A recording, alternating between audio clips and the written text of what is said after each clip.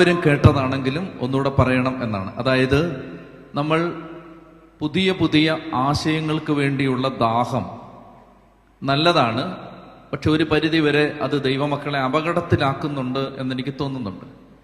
എന്ന് വെച്ചാൽ പുതിയ കാര്യങ്ങൾ കേൾക്കണം. ഞാൻ കൺവെൻഷനിൽ ചെല്ലുമ്പോൾ സാധാരണഗതിയിൽ ഞാൻ സാധിക്കുന്നിടത്തോളം പറഞ്ഞത് പറയാതിരിക്കാൻ ശ്രദ്ധിക്കാറുണ്ട്. ഇപ്പോൾ കൺവെൻഷനുകൾക്ക് ചെല്ലുമ്പോൾ പുതിയ കാര്യങ്ങൾ കർത്താവിൽ നിന്ന് ചോദിച്ച് വാങ്ങിച്ച് പറയാനാണ് എന്റെ ആഗ്രഹം. എന്നാൽ ചില ദേശങ്ങളിൽ ചില സ്ഥലങ്ങളിൽ കർത്താവ് അങ്ങനെ ഒന്നും തരാറില്ല. അങ്ങനെ തരാതിരിക്കുമ്പോൾ കർത്താവ് പറഞ്ഞത് ആളുകൾ കേട്ടത് കേട്ടിട്ടുള്ളത് ആവർത്തിച്ച് പറഞ്ഞിട്ടുള്ളതൊക്കെ പറയാൻ കർത്താവ് പ്രേരണ തരും. പ്രിയപ്പെട്ടവരെ അത്തരം സന്ദർഭങ്ങളിൽ ചില പ്രതികരണങ്ങൾ ഞാൻ കേട്ടിട്ടുണ്ട്. അച്ഛാ ഞങ്ങളത് കേട്ടതാണ്.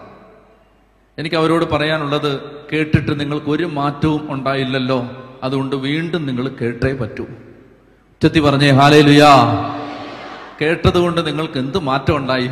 അതുകൊണ്ട് വീണ്ടും വീണ്ടും വീണ്ടും നിങ്ങൾ കേട്ടത് കേൾക്കാൻ വിധിക്കപ്പെട്ടവരാണ്. ഉച്ചത്തി പറഞ്ഞേ ഹാലേ ലുയാ പ്രിയപ്പെട്ട മക്കളെ അതുകൊണ്ട് ഈ രാത്രിയിൽ കർത്താവ് പരിശുദ്ധ കുർബാനയെ കുറിച്ച് നമുക്ക് ചില ആഴമായ ബോധ്യങ്ങൾ നൽകാൻ നമുക്ക് പ്രാർത്ഥിക്കാം. ലൂക്കാസ് വിശേഷം ഇരുപത്തിനാലാം അധ്യായത്തിൽ രണ്ട് ശിഷ്യന്മാർ ജെറൂസലേമിൽ നിന്ന് എമ്മാവൂസിലേക്ക് ഒരു യാത്ര പോവുകയാണ്.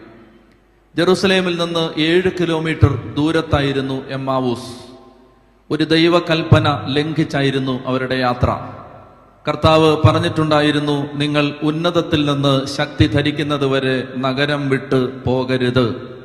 ജെറുസലേം വിട്ട് പോകരുത് എന്നതായിരുന്നു കർത്താവിന്റെ കൽപ്പന. എന്നാൽ ഈ കൽപ്പന ബോധപൂർവം ലംഘിച്ചുകൊണ്ടാണ് രണ്ട് ശിഷ്യന്മാർ. അതിൽ ഒരാളുടെ പേര് ക്ലയോപ്പാസ് മറ്റേയാളുടെ പേര് അറിയാൻ പാടില്ല. ക്ലയോപ്പാസ് ഈ- ഈശോയുടെ വളർത്തച്ഛനായ യൗസേഫ് പിതാവിന്റെ സഹോദരനായിരുന്നു എന്ന് പാരമ്പര്യം പറയുന്നുണ്ട്. അപ്പോൾ അപ്പന്റെ ബ്രദറാണ് ഈ പോന്നത്. പ്രിയപ്പെട്ടവര് അങ്ങനെ എമ്മാവൂസിലേക്ക് ഈ രണ്ട് ശിഷ്യന്മാർ യാത്ര പോവുകയാണ്. ഈശോ ഈ യാത്രയിൽ അവരുടെ ഒപ്പം നടന്നു. ഈശോ അവരോട് സംസാരിച്ചു. ഈശോ സംസാരിച്ചത് നിയമത്തിലും പ്രവാചകന്മാരിലും സങ്കീർത്തന ഗ്രന്ഥങ്ങളിലും ഇത് ശ്രദ്ധിക്കുക. ഈശോ അവരോട് സംസാരിച്ചത് വഴിയിൽ വെച്ച് യേശു അവരോട് സംസാരിച്ചുകൊണ്ട് യാത്ര ചെയ്തത് നിയമഗ്രന്ഥങ്ങളിലും പ്രവചന ഗ്രന്ഥങ്ങളിലും സങ്കീർത്തനങ്ങളിലും തന്നെക്കുറിച്ച് പറഞ്ഞിട്ടുള്ളതെല്ലാം അവൻ അവർക്ക് വിശദീകരിച്ചു കൊടുത്തു. ഇതാണ് യേശുവിന്റെ വേദപുസ്തക വ്യാഖ്യാനം. ശ്രദ്ധിച്ചിരിക്കാം ഈശോ ബൈബിളിനെ വ്യാഖ്യാനിച്ചത് പഴയ നിയമത്തെ ഈശോ പുതിയ നിയമത്തിന്റെ കണ്ണിലൂടെ ക്രിസ്തുവിന്റെ കണ്ണിലൂടെ ക്രിസ്തു വ്യാഖ്യാനിച്ചു. അപ്പസ്തോലന്മാർ അങ്ങനാണ് ബൈബിൾ വ്യാഖ്യാനിച്ചത്. പഴയ നിയമത്തെ അവർ അപ്പാടെ തള്ളിക്കളഞ്ഞില്ല. മറിച്ച് പഴയ നിയമത്തെ അവർ യേശുവിന്റെ കണ്ണുകളിലൂടെ വ്യാഖ്യാനിക്കാൻ ശ്രമിച്ചു. അങ്ങനെ നിയമഗ്രന്ഥത്തിലും സങ്കീർത്തനങ്ങളിലും പ്രവചന ഗ്രന്ഥങ്ങളിലും തന്നെക്കുറിച്ച് എഴുതപ്പെട്ടിരുന്നതെല്ലാം ഈശോ അവർക്ക് ഒന്നൊന്നായി വിശദീകരിച്ചു കൊടുത്തു. ഞാനിങ്ങനെ ചിന്തിക്കുകയായിരുന്നു കർത്താവെ നീ എന്തായിരിക്കും വിശദീകരിച്ച് കൊടുത്തിട്ടുണ്ടാവുക? അതാണ് എന്റെ ഒരു ആകാംക്ഷ. കർത്താവെ നീ എന്തായിരിക്കും ശിഷ്യന്മാർക്ക് എമ്മാവൂസിലേക്ക് പോയി ശിഷ്യന്മാർക്ക് മോശയുടെ നിയമത്തിൽ നിന്നും പ്രവചന ഗ്രന്ഥങ്ങളിൽ നിന്നും സങ്കീർത്തനങ്ങളിൽ നിന്നും നീ എന്താണാവോ വിശദീകരിച്ചു കൊടുത്തത്? അറിയാൻ പാടില്ല. നമുക്കൊരു ഊഹാഭോഗത്തിന് മാത്രമേ സാധ്യതയുള്ളൂ. ഞാനൊന്ന് ഊഹിക്കാൻ ശ്രമിക്കുകയാണ്. ഈശോ വ്യാഖ്യാനിച്ചു കൊടുത്തത് ഈശോ പറയുകയാണ് ഉൽപ്പത്തി പുസ്തകത്തിൽ പഞ്ചഗ്രന്ഥിയിലെ ആദ്യത്തെ പുസ്തകത്തിൽ ഒരു തോട്ടമുണ്ടായിരുന്നു. ഏതൻ തോട്ടം? ആ തോട്ടത്തിൽ വെച്ച് ആദ്യ മനുഷ്യനായ ആദം ദൈവകൽപ്പന ലംഘിച്ചു. ആദം ദൈവകൽപ്പന ലംഘിച്ചപ്പോൾ ആദത്തിന് താൻ നഗ്നനാണെന്ന് മനസ്സിലായി. അവൻ നഗ്നനായി. അങ്ങനെ നഗ്നനാക്കപ്പെട്ടവന് അവന്റെ നാണം മറയ്ക്കാൻ അവൻ അത്തിയിലകൾ കൂട്ടിത്തുന്നി വസ്ത്രമുണ്ടാക്കി. ഈശോ പറയുകയാണ് അതേതൻ തോട്ടമെന്ന ആദ്യത്തെ തോട്ടം ആ തോട്ടത്തിൽ ആദ്യ മനുഷ്യന് പറ്റിയ പരാജയം. ഈശോ പറയുകയാണ് അത് ആദ്യത്തെ ആദം ഞാൻ രണ്ടാമത്തെ ആദം. ഞാൻ രണ്ടാമത്തെ ആദം അതുപോലൊരു തോട്ടം. ആ തോട്ടത്തിന്റെ പേരാണ് ഗത്തമനി ഏതൻ തോട്ടത്തിൽ നിന്ന് പുറത്താക്കപ്പെട്ട ആദത്തോട് ദൈവം പറഞ്ഞു നീ പാപത്തിന്റെ ശിക്ഷയായി നെറ്റിയിലെ വിയർപ്പ് കൊണ്ട് അപ്പം ഭക്ഷിക്കുക നെറ്റിയിലെ വിയർപ്പായിരുന്നു പാപത്തിന്റെ ശിക്ഷ. ആ പാപത്തിന് പരിഹാരമായി ഗത്തമൻ എന്ന മറ്റൊരു തോട്ടത്തിൽ ഞാൻ ചോര വിയർത്തു. ഉൽപ്പത്തി പുതിയ നിയമത്തെ ഉൽപ്പത്തിയുടെ കണ്ണിലൂടെ ഈശോ വ്യാഖ്യാനിക്കുകയാണ്. ഈശോ പറയുകയാണ് പാപത്തിന്റെ രണ്ടാമത്തെ ഫലം ദൈവം പറഞ്ഞു ഭൂമി മുള്ളുകളും മുൾച്ചെടികളും മുളപ്പിക്കും. പാപത്തിന്റെ ശിക്ഷയായി ഭൂമി മുള്ളുകളും മുൾച്ചെടികളും മുളപ്പിച്ചു. ആ പാപത്തിന് പരിഹാരമായി വന്ന രണ്ടാമത്തെ ആദം മുൾക്കിരീടമെടുത്ത് ശിരസിൽ വെച്ച് അതിന് പരിഹാരം ചെയ്തു. ആദ്യത്തെ ആദം പാപത്തിന്റെ ശിക്ഷയായി നഗ്നനാക്കപ്പെട്ടു. പക്ഷെ അവൻ സ്വന്തം പരിശ്രമമെന്ന അത്തിയില കൊണ്ട് വസ്ത്രമുണ്ടാക്കി. രണ്ടാമത്തെ ആദം പാപത്തിന് പരിഹാരമായി കാൽവരിയിലെ കുരിശുമരത്തിൽ നഗ്നനായി തൂങ്ങിക്കിടന്നു. സ്വന്തം കൈത്തലം കൊണ്ടുപോലും നാണം മറയ്ക്കാനാവാതെ അവൻ നഗ്നഭാരം നഗ്നതയുടെ ആ അപമാനം ഏറ്റെടുത്ത് കുരിശിൽ കിടന്നു. ഈശോ പഴയ നിയമത്തിൽ പുറപ്പാട് എന്നൊരു സംഭവം. ഈജിപ്ത് എന്ന അടിമത്തത്തിന്റെ ഒരു മണ്ണ് കാനാൻ എന്നൊരു വാഗ്ദത്ത നാട് മോശ എന്നൊരു പ്രവാചകൻ. ആ പ്രവാചകൻ ജനിച്ചപ്പോ ആ പ്രവാചകന്റെ ജനന സമയത്ത് അനേകം ആൺകുട്ടികൾ കൊല്ലപ്പെട്ടു. അത് ആദ്യത്തെ വിമോചകൻ. ഞാൻ രണ്ടാമത്തെ വിമോചകൻ. രണ്ടാമത്തെ വിമോചകൻ ജനിച്ചപ്പോഴും ഒരുപാട് ആൺകുട്ടികൾ കൊല്ലപ്പെട്ടു. എന്റെ ജനന വാർത്ത എന്റെ ജനനകാലത്ത് ആൺകുട്ടികൾ കൊല്ലപ്പെട്ടതുപോലെ തന്നെ മോശയുടെ ജനനകാലത്ത് ആൺകുട്ടികൾ കൊല്ലപ്പെട്ടു. മോശ മരുഭൂമിയിൽ നാൽപ്പത് ദിനരാത്രങ്ങൾ ഉപവസിച്ചു. ഞാൻ മരുഭൂമിയിൽ നാൽപ്പത് ദിനരാത്രങ്ങൾ ഉപവസിച്ചു. മരുഭൂമിയിൽ മോശയുടെ ജനത പരീക്ഷണത്തെ പ്രലോഭനത്തെ നേരിട്ടു. അവർ പരാജയപ്പെട്ടു. ഞാൻ മരുഭൂമിയിൽ പരീക്ഷണത്തെ പ്രലോഭനത്തെ നേരിട്ടു. ഞാൻ ആ പരീക്ഷയെ ജയിച്ചു. ഞാൻ പരീക്ഷയെ ജയിക്കുമ്പോൾ അവർ പരാജയപ്പെട്ടപ്പോൾ മോശ അവരെ ശാസിച്ച വചനം കൊണ്ടാണ് ഞാൻ സാത്താനെ ജയിച്ചത്. നിയമാവർത്തനം ആറ് ഏഴ് എട്ട് അധ്യായങ്ങളിലെ വാക്യങ്ങൾ. അത് മോശ പരാജയപ്പെട്ട മരുഭൂമിയിൽ പരാജയപ്പെട്ട ജനതയെ ശാസിക്കുന്ന വചനങ്ങളാണ്. ആ വചനമെടുത്താണ് പുതിയ നിയമത്തിലെ മോശ സാത്താനെ പരാജയപ്പെടുത്തിയത്. പ്രിയപ്പെട്ടവരെ മോശ സീനായി മലയുടെ മുകളിൽ കയറി ആദ്യത്തെ നിയമം സ്വീകരിച്ചു. ഈശോ ഒരു മറ്റൊരു മലയിൽ കയറി പുതിയ നിയമത്തിന്റെ നിയമങ്ങൾ കൽപ്പനകൾ നൽകി. ഇങ്ങനെ ഈശോ പഴയ നിയമത്തിൽ പ്രവാചകന്മാരിൽ കന്യക ഗർഭം ധരിച്ച ഒരു പുത്രനെ പ്രസവിക്കും.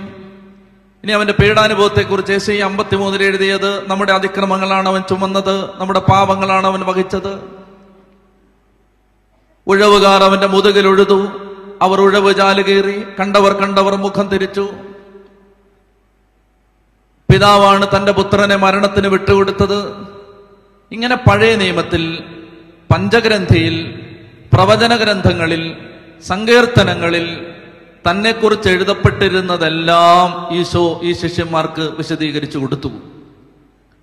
പ്രിയപ്പെട്ടവരെ അങ്ങനെ വിശദീകരിച്ചു കൊടുത്ത കൂട്ടത്തിൽ ഈശോ നിശ്ചയമായും അവർക്ക് ഇങ്ങനെ വിശദീകരിച്ചു കൊടുത്തിട്ടുണ്ടാവും.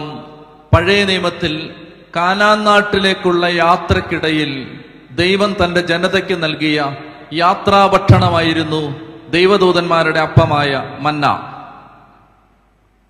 പുതിയ നിയമത്തിൽ സ്വർഗമെന്ന കാനാനെ ലക്ഷ്യമാക്കി യാത്ര ചെയ്യുമ്പോൾ നിങ്ങൾക്ക് ഞാൻ നൽകുന്ന അപ്പമാണ് വിശുദ്ധ കുർബാന. അതുകൊണ്ടാണ് സൂറോ മലബാർ സഭയുടെ കുർബാനയിൽ നിങ്ങൾ ഇങ്ങനെ പ്രാർത്ഥിക്കുന്നത് ഞാൻ സ്വർഗത്തിൽ നിന്നിറങ്ങിയ ജീവനുള്ള അപ്പമാകുന്നു.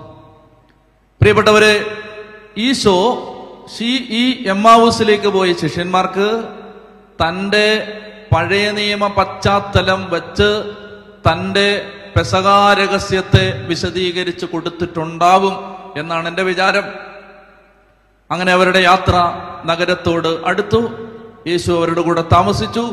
അവൻ അപ്പമെടുത്ത് മുറിക്കുമ്പോൾ അവരുടെ കണ്ണുകൾ തുറക്കപ്പെട്ടു. അപ്പം മുറിച്ചപ്പോൾ അവരുടെ കണ്ണുകൾ തുറക്കപ്പെട്ടു. അത് യേശുവാണെന്ന് അവർ തിരിച്ചറിഞ്ഞു. അവർ പിറ്റേ ദിവസം രാവിലെ ജെറുസലേമിലേക്ക് തിരിച്ചുപോയി. പ്രിയപ്പെട്ട സഹോദരി സഹോദരന്മാരെ പരിശുദ്ധ കുർബാനയെ കുറിച്ചുള്ള മനോഹരമായ പാഠങ്ങളിൽ ഒന്നാണ് എം ആവൂസ് യാത്ര. ഈ യാത്ര എന്റെയും നിന്റെയും യാത്രയാണ്. ഈ യാത്രയിൽ നമുക്ക് യാത്രാഭക്ഷണം നമ്മുടെ കണ്ണു തുറപ്പിക്കുന്ന നമ്മെ ജെറുസലേമിലേക്കും അഭിഷേകത്തിലേക്കും കൃപയിലേക്കും തിരിച്ചുവിടുന്ന യാത്രാഭക്ഷണം കർത്താവ് ഇന്ന് രാത്രിയിൽ നമ്മുടെ മനസ്സിൽ നമ്മുടെ ചിന്തയിൽ ബോധ്യങ്ങളിൽ ഈ അപ്പം മുറിക്കട്ടെ എന്ന് ഞാൻ പ്രാർത്ഥിക്കാം. ചെത്തി പറഞ്ഞേ ഹാലേ ലുയാ ഹാലേ ലുയാ ഹാലേ ലുയാ എന്റെ പ്രിയപ്പെട്ട സഹോദരി സഹോദരന്മാരെ വിശുദ്ധ കുർബാനയെ കുറിച്ച് ഗ്രഹിക്കാൻ കർത്താവെ ഞങ്ങളുടെ ഹൃദയം തുറക്കണമേ എന്ന് പ്രാർത്ഥിച്ചുകൊണ്ടിരിക്കുക ഞാനൊരു അഞ്ച് കാര്യങ്ങൾ ഈ രാത്രി നിങ്ങളോട് പറയാം. ഒന്നാമത്തേത് കർത്താവ് സ്വമിശിക വിശുദ്ധ കുർബാനയെക്കുറിച്ച് എന്താണ് പുതിയ നിയമത്തിൽ പഠിപ്പിച്ചത്? ഈശോ അംഗീകരിക്കാത്തത് നമ്മൾ അംഗീകരിക്കരുത്. ഈശോ അംഗീകരിക്കുന്നതിനെ നാം അംഗീകരിക്കാതിരിക്കരുത്. ഈശോ മാനിച്ചതിനെ മാനിക്കണം ഈശോ വിലമതിക്കാത്തതിനെ വിലമതിക്കരുത്. ഈശോ വില കൊടുത്തതിന് വില കൊടുക്കണം ഈശോ വില കെട്ടതായി കണ്ടതിനെ വില കെട്ടതായി കാണണം. നമ്മുടെ ആത്മീയത യേശുവിന്റെ ആത്മീയതയാണ്. യേശുവാണ് നമ്മുടെ ആത്മീയതയ്ക്ക് മാതൃക. അതുകൊണ്ട് കർത്താവ് എന്ത് പറഞ്ഞു? അത് നമ്മൾ കാണുന്നത് യോഹന്നാന്റെ സുവിശേഷം ആറാം അധ്യായത്തിലാണ്. യോഹന്നാൻ ആറ് പഠന സൗകര്യത്തിനായി അഞ്ചായിട്ട് തിരിക്കുകയാണ് പെട്ടെന്ന് പഠിക്കാം. അഞ്ച് കാര്യങ്ങൾ. ഒന്ന് യേശു അപ്പം വർദ്ധിപ്പിക്കുന്നു. രണ്ട് യേശു വെള്ളത്തിന്റെ മീതെ നടക്കുന്നു. മൂന്ന് യേശു പറയുന്നു ഞാനാണ് ജീവന്റെ അപ്പം. എന്നിട്ട് നാല് തവണ പറയുന്നു എന്റെ ശരീരം ഭക്ഷിക്കണം എന്റെ രക്തം പാനം ചെയ്യണം അല്ലെങ്കിൽ നിങ്ങൾക്ക് നിത്യജീവൻ ഇല്ല. നാലാമതായി ഇത് കേട്ടപ്പോൾ ഖഫർനാമിലെ സിനഗോഗിൽ വെച്ച് ഇത് യേശു പഠിപ്പിച്ചപ്പോൾ ഇത് കേട്ടു നിന്നവരുടെ പ്രതികരണം. അഞ്ചാമത്തേത് യേശുവിന്റെ ശക്തമായ നിലപാട്. അഞ്ച് കാര്യങ്ങൾ. ഒന്ന് ഈശോ അപ്പം വർദ്ധിപ്പിക്കുന്നു. മരുഭൂമിയിൽ വെച്ച് തന്നെ കാണാനും കേൾക്കാനും തന്റെ പ്രഭാഷണം കേൾക്കാനും തന്റെ അത്ഭുതകരത്തിൽ നിന്ന് അഭിഷേകം സ്വീകരിക്കാനും കടന്നു വന്നൊരു ജനതയെ യേശു പഠിപ്പിച്ചുകൊണ്ടിരുന്നു. അപ്പോൾ ശിഷ്യന്മാർ പറഞ്ഞു അവർക്ക് കഴിക്കാൻ ഭക്ഷണമില്ല. കർത്താവ് ചോദിച്ചു നിങ്ങളുടെ കയ്യിൽ എന്തുണ്ട്? അവർ അവരുടെ കയ്യിലുള്ളത് അഞ്ചപ്പവും രണ്ട് മീനും കൊടുത്തു. യേശു ആ അപ്പം എടുത്തു. അത് ദൈവസന്നിധിയിലേക്ക് ഉയർത്തി വാഴ്ത്തി വിഭജിച്ച് വിളമ്പാനായി ശിഷ്യന്മാരെ ഏൽപ്പിച്ചു. ശ്രദ്ധിക്കുക അപ്പം വർദ്ധിപ്പിച്ച അത്ഭുതം. അതിന്റെ അർത്ഥം അതിന്റെ അർത്ഥം ഒരൊറ്റ കാര്യം ഈ രാത്രിയിൽ നമുക്ക് മതി. അപ്പം വർദ്ധിപ്പിച്ച സംഭവത്തിന്റെ അർത്ഥം ഇതാണ്. ഈശോ തന്റെ കൺമുമ്പിൽ തടിച്ചുകൂടിയ ഒരു ജനാവലിയോട് പറയുകയാണ് നിങ്ങൾ ഒരപ്പം എന്റെ കയ്യിൽ തന്നാൽ ഞാൻ ആ അപ്പത്തെ എനിക്കിഷ്ടമുള്ളതുപോലെ മാറ്റാൻ ശക്തിയുള്ളവനാണ്. നിങ്ങൾ ഒരപ്പം എന്റെ കയ്യിൽ തന്നാൽ ഞാൻ ആ അപ്പത്തെ എന്റെ ഇഷ്ടമനുസരിച്ച് രൂപാന്തരപ്പെടുത്താൻ ശക്തിയുള്ളവനാണ്. ഒന്നാമത്തേത് ഈ വിഷയം നിങ്ങൾക്ക് മനസ്സിലായോ? ഒന്ന് തീർന്നു. ഒന്നാമത്തേത് തീർന്നു. അതായത് അപ്പം വർദ്ധിപ്പിച്ച സംഭവത്തിന്റെ അർത്ഥം ഈശോയുടെ കയ്യിൽ ഒരപ്പം വെച്ച് കൊടുത്താൽ ഈശോയ്ക്ക് ആ അപ്പത്തെ അഞ്ചാക്കാം അയ്യായിരമാക്കാം പതിനായിരമാക്കാം ഇരുപതിനായിരമാക്കാം ചെറുതാക്കാം വലുതാക്കാം കട്ടിയുള്ളതാക്കാം നേർത്തതാക്കാം യേശുവിന് അപ്പത്തിന്റെ മേൽ അധികാരമുണ്ട്. മനസ്സിലായോ? ചത്തി പറഞ്ഞേ ഹാലേലുയാ എങ്കിൽ ഇത് ഗ്രഹിച്ചെങ്കിൽ രണ്ടാമത്തേത്. രണ്ടാമത്തേത് ഈശോ വെള്ളത്തിന് മീതെ നടക്കുന്നു. ഞാൻ വെള്ളത്തിന് മീതെ നടന്നാൽ ഞാൻ താണുപോകും നിങ്ങളുടെ വികാരിച്ച് നടന്നാലും താണുപോകും നിങ്ങളുടെ പിതാവ് നടന്നാലും താണുപോകും ഫ്രാൻസിസ് മാർപ്പാപ്പ നടന്നാലും താണുപോകും എന്നാൽ ഇരുമ്പ് വെള്ളത്തിലിട്ടാൽ താഴും ഇരുമ്പ് കപ്പൽ താഴില്ല. ഭാരമുള്ളൊരു തടി വെള്ളത്തിൽ താഴാം ഭാരമുള്ളൊരു തടി കപ്പൽ തടി കൊണ്ടുള്ളൊരു വള്ളം താഴില്ല. ഇരുമ്പ് താഴും ഇരുമ്പ് കപ്പൽ പൊങ്ങിക്കിടക്കും. എന്തുകൊണ്ട്? തടി താഴും തടി കൊണ്ടുള്ളൊരു വഞ്ചി പൊങ്ങിക്കിടക്കും. എന്തുകൊണ്ട്? ഈ വള്ളം വെള്ളത്തിൽ പൊങ്ങിക്കിടക്കുന്നത് വള്ളത്തിന് അതിന്റെ ശാരീരിക പ്രകൃതിയിൽ ഈ തടിക്ക് ഈ ഇരുമ്പിന് അതിന്റെ ശാരീരിക പ്രകൃതിയിൽ ഒരു മാറ്റം വരുത്തി വെള്ളത്തിൽ പൊങ്ങിക്കിടക്കാൻ പറ്റുന്ന വിധത്തിൽ ഈ തടിയെ മാറ്റി ഈ ഇരുമ്പിനെ മാറ്റി അപ്പോഴാണ് അത് വെള്ളത്തിൽ പൊങ്ങിക്കിടക്കുന്നത്. ശ്രദ്ധിച്ചിരിക്കുക വള്ളം വെള്ളത്തിൽ പൊങ്ങി നിന്നത് വള്ളത്തിന് വന്ന മാറ്റമാണ്. വെള്ളത്തിന് വന്ന മാറ്റമല്ല. വെള്ളത്തിന്റെ കട്ടി കൂടിയതുകൊണ്ടല്ല. മറിച്ച് തടിക്ക് മാറ്റം വന്നു അത് വള്ളത്തിന്റെ രൂപത്തിലായി. അതേസമയം ഞാൻ വെള്ളത്തിൽ നിന്നാൽ ഞാൻ തണുപോകും. വള്ളം വെള്ളത്തിൽ പൊങ്ങിക്കിടക്കുന്നത് വെള്ളത്തിന് മാറ്റം വന്നുകൊണ്ടാണോ വള്ളത്തിന് മാറ്റം വന്നുകൊണ്ടാണോ വള്ളത്തിന്. ബുദ്ധിയുള്ളവരാ. വള്ളത്തിന് മാറ്റം വന്നുകൊണ്ടാണ് സെയിം ലോജിക് ഈശോ വെള്ളത്തിൽ താണില്ല. എന്നാൽ അതേ വെള്ളത്തിൽ അഞ്ച് മിനിറ്റ് കഴിഞ്ഞ് പത്രോസ് താണു. അങ്ങനാണെങ്കിൽ മാറ്റം വന്നത് ഈശോയ്ക്കാണോ വെള്ളത്തിനാണോ? ഈശോയ്ക്കാണോ വെള്ളത്തിനാണോ? ഈശോയ്ക്കാണ്. അങ്ങനെയാണെങ്കിൽ രണ്ടാമത്തെ അത്ഭുതത്തിന്റെ അർത്ഥം ശ്രദ്ധിച്ചു കേട്ടുകൊള്ളുക. ഈശോ പറയുകയാണ് എനിക്ക് എന്റെ ശരീരത്തെ വെള്ളത്തിൽ പൊങ്ങിക്കിടക്കുന്ന വിധത്തിൽ ആക്കാൻ പറ്റും. എന്റെ ശരീരത്തിൽ എനിക്ക് എനിക്കിഷ്ടമുള്ള മാറ്റം വരുത്താൻ ശക്തിയുണ്ട്. ഒന്നാമത്തെ അത്ഭുതം എനിക്ക് അപ്പത്തിൽ മാറ്റം വരുത്താം. രണ്ടാമത്തെ അത്ഭുതം എനിക്ക് എന്റെ ശരീരത്തിൽ മാറ്റം വരുത്താം. ഇനി കാതു തുറന്ന് തന്നെ ശ്രദ്ധിക്കുക. ശരീരത്തിലും അപ്പത്തിലും മാറ്റം വരുത്താമെന്ന് വാഗൊണ്ട് വെറുതെ പറയുകല്ല കൺമുമ്പിൽ പ്രൂവ് ചെയ്ത് കാണിച്ചിട്ട് ഈശോ പറഞ്ഞു സഖിവൻ മാളികയിൽ വെച്ച് ഈ അപ്പം എന്റെ ശരീരം. സംശയിക്കണോ ചേച്ചി? വേണ്ട കാരണം സംശയിക്കേണ്ട ആവശ്യമില്ല. അപ്പത്തിലും ശരീരത്തിലും മാറ്റം വരുത്താൻ പറ്റുമെന്ന് നമ്മളെപ്പോലെ വെറുതെ പറയുകയല്ല. കാണിച്ചു കൊടുത്തു തെളിയിച്ചു കൊടുത്തു ഡിമോൺസ്ട്രേറ്റ് ചെയ്തു പ്രൂവ് ചെയ്തു എന്നിട്ട് പറഞ്ഞു ഈ അപ്പം എന്റെ ശരീരം. മൂന്നാമത്തേത്. വെള്ളത്തിന് മീതെ നടന്നു അപ്പത്തിൽ മാറ്റം വരുത്തി. എന്നിട്ട് കവർണാമിലെ സെനഗോഗിൽ വെച്ച് തടിച്ചുകൂടിയ ആയിരക്കണക്കിന് ആളുകളുടെ മുമ്പിൽ ഈശോ ഇങ്ങനെ പറഞ്ഞു നിങ്ങൾക്ക് നിത്യജീവൻ ഉണ്ടാകണമെങ്കിൽ നിങ്ങൾ മനുഷ്യപുത്രന്റെ ശരീരം ഭക്ഷിക്കണം രക്തം കുടിക്കണം. അവർക്ക് മനസ്സിലായില്ല. അപ്പോൾ ഈശോ പറഞ്ഞു എന്റെ പച്ച ശരീരം നിങ്ങൾക്ക് തിന്നാനോ എന്റെ ചുടു രക്തം നിങ്ങൾക്ക് കുടിക്കാനോ പറ്റില്ല. കാരണം മനുഷ്യ മാംസം നിങ്ങൾക്ക് പച്ചയ്ക്ക് തിന്നാൻ പറ്റില്ല മനുഷ്യ രക്തം നിങ്ങൾക്ക് പച്ചയ്ക്ക് കുടിക്കാൻ പറ്റില്ല. എന്നാൽ നിങ്ങൾക്ക് ജീവൻ വേണോ? നിങ്ങൾ എന്റെ ശരീരം ഭക്ഷിക്കണം എന്റെ രക്തം കുടിക്കണം. അപ്പൊ ഒരു പ്രശ്നമായി അതായത് ശരീരം ഭക്ഷിച്ചാലേ രക്തം പാനം ചെയ്താലേ നിത്യജീവനുള്ളൂ. പക്ഷെ ശരീരം തിന്നാനും പറ്റില്ല രക്തം കുടിക്കാനും പറ്റില്ല. നമ്മൾ നരഭോജികളല്ല. അതുകൊണ്ട് ഈശോ പറഞ്ഞു നിങ്ങളുടെ ജീവന് വേണ്ടി നിങ്ങളുടെ ജീവന് വേണ്ടി നിങ്ങൾ എന്റെ ശരീരം ഭക്ഷിക്കണം. നിങ്ങളുടെ ജീവന് വേണ്ടി എന്റെ ശരീരമാക്കി ഈ അപ്പം ഞാൻ തരികയാണ്. ഇത് നിങ്ങൾ ഭക്ഷിക്കണം. ഈ രക്തം ഈ പാനീയം ഞാൻ തരികയാണ്. ഇത് നിങ്ങൾ കുടിക്കണം. ഇതാണ് മൂന്നാമത്തെ ഈശോ പറഞ്ഞു ഞാനാണ് നിത്യജീവന്റെ അപ്പം. നിങ്ങൾക്ക് ജീവൻ വേണോ? നിങ്ങൾ എന്റെ ശരീരം ഭക്ഷിക്കണം എന്റെ രക്തം കുടിക്കണം. നാല് തവണ പറഞ്ഞു അവിടെ നാല് പ്രാവശ്യം. സമയമില്ലാത്തതുകൊണ്ട് ഞാനത് വായിക്കുന്നില്ല. വായിച്ചാൽ മതി. ആറാം അധ്യായം. നാല് തവണ പറഞ്ഞു നിങ്ങൾ എന്റെ ശരീരം ഭക്ഷിക്കണം എന്റെ രക്തം കുടിക്കണം എങ്കിലേ നിങ്ങൾക്ക് ജീവനുള്ളൂ.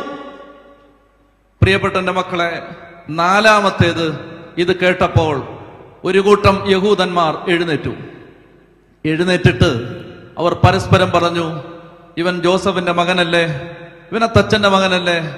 ഇവൻ എങ്ങനെയാണ് ഇവന്റെ ശരീരം നമുക്ക് ഭക്ഷിക്കാൻ തരാൻ പറ്റുന്നത്? ഇവന്റെ രക്തം നമുക്ക് കുടിക്കാൻ തരാൻ പറ്റുന്നത്? എന്ന് പറഞ്ഞുകൊണ്ട് അവർ അവനിൽ ഇടറി. അവർ കൂട്ടം കൂട്ടമായി എഴുന്നേറ്റു.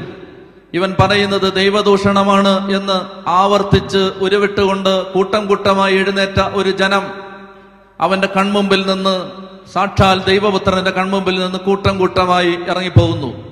എന്നെ ശ്രദ്ധിച്ചിരിക്കുക. സഭയിൽ നിന്ന് ആദ്യത്തെ ഇറങ്ങിപ്പോക്ക് നടന്നത് അഞ്ചാം നൂറ്റാണ്ടിലല്ല രണ്ടാം നൂറ്റാണ്ടിലല്ല പതിനഞ്ച് പതിനാറ് നൂറ്റാണ്ടുകളിലല്ല ഇരുപതാം നൂറ്റാണ്ടിലല്ല. ഇരുപത്തൊന്നാം നൂറ്റാണ്ടിലല്ല. സഭാചരിത്രത്തിൽ നിന്ന് കർത്താവ യേശുവിന്റെ സഭാ ശരീരത്തിൽ നിന്ന് ആദ്യത്തെ ഇറങ്ങിപ്പോക്ക് നടന്നത് യോഹന്നാൻ ആറ് അറുപത്തി ഒന്നിലാണ് ഈശോ തന്റെ ശരീരം ഭക്ഷിക്കണം തന്റെ രക്തം കുടിക്കണമെന്ന് പറഞ്ഞപ്പോൾ വ്യക്തമായി പച്ചയ്ക്ക് പച്ചമലയാളത്തിൽ മനസ്സിലാവുന്ന ഭാഷ പറഞ്ഞാൽ ഈശോ പരിശുദ്ധ കുർബാന ഭക്ഷിക്കണം. അതെന്റെ യഥാർത്ഥ ശരീരമാണ്. അതെന്റെ യഥാർത്ഥ രക്തമാണ്. എന്ന് പറഞ്ഞപ്പോഴാണ് സഭാ ശരീരത്തിലെ ആദ്യത്തെ ഇറങ്ങിപ്പോക്ക് നടന്നത്. കൂട്ടം കൂട്ടമായി ആളുകൾ ഇറങ്ങിപ്പോയി. ചെത്തി പറഞ്ഞേ ഹാലേലുയാ. ഹാലേലുയാ. ഇനി എന്നെ ശ്രദ്ധിച്ചിരിക്കുക മക്കളെ. കൂട്ടം കൂട്ടമായി യേശുവിന്റെ മുമ്പിൽ നിന്ന് ആളുകൾ ഇറങ്ങിപ്പോവുകയാണ്. എന്താണ് യേശുവിന്റെ സ്വഭാവം? ഈശോയുടെ സ്വഭാവം ലൂക്ക പതിനഞ്ചിലുണ്ട്. നൂറാടുകളുള്ള ഒരിടയൻ. അതിലൊന്ന് കാണാതെ പോയാൽ അതിലൊന്ന് ഇറങ്ങിപ്പോയാൽ തൊണ്ണൂറ്റൊമ്പതിനെയും മരുഭൂമിയിൽ അലയാൻ വിട്ടിട്ട് കാണാതെ പോയ ഒരാടിന്റെ പിന്നാലെ ഗതികെട്ടലയുന്ന ഇടയനാണ് കർത്താവ്. പത്ത് നാണയങ്ങളുള്ളൊരു സ്ത്രീ അതിലൊരു നാണയം കൈവഴുതി തറയിൽ നഷ്ടപ്പെട്ടു പോയാൽ അന്ന് ജോലിക്ക് പോകാതെ പകൽ മുഴുവൻ വിളക്ക് കത്തിച്ച് വീട് അടിച്ചുവാരി അന്തിയാവുമ്പോൾ അത് കണ്ടുകിട്ടുമ്പോൾ അയൽക്കാരെയും കൂട്ടുകാരെയും വിളിച്ചുകൂട്ടി സദ്യ ഒരുക്കി അതിന്റെ സന്തോഷം പ്രകടിപ്പിക്കുന്ന നാണയം നഷ്ടപ്പെട്ട സ്ത്രീയാണ് ദൈവം. രണ്ട് മക്കളുള്ള ഒരപ്പൻ അതിൽ ഇളയവൻ സമ്പാദ്യങ്ങൾ ദൂർത്തടിക്കാനുള്ള മനസ്സോടെ അപ്പന്റെ കയ്യിൽ നിന്ന് സകലതും കൈക്കലാക്കി വീട്ടിൽ നിന്ന് ഇറങ്ങിപ്പോയി സകലതും നഷ്ടപ്പെടുത്തി ഒരു ഒടുവിൽ എല്ലാം നഷ്ടപ്പെട്ട് നിരാലംബനായി തിരിച്ചു വരുന്ന നേരത്ത് രണ്ട് കൈയും നീട്ടി സ്വീകരിക്കാൻ കാത്തു നിൽക്കുന്ന ഒരു അപ്പനാണ് ദൈവം.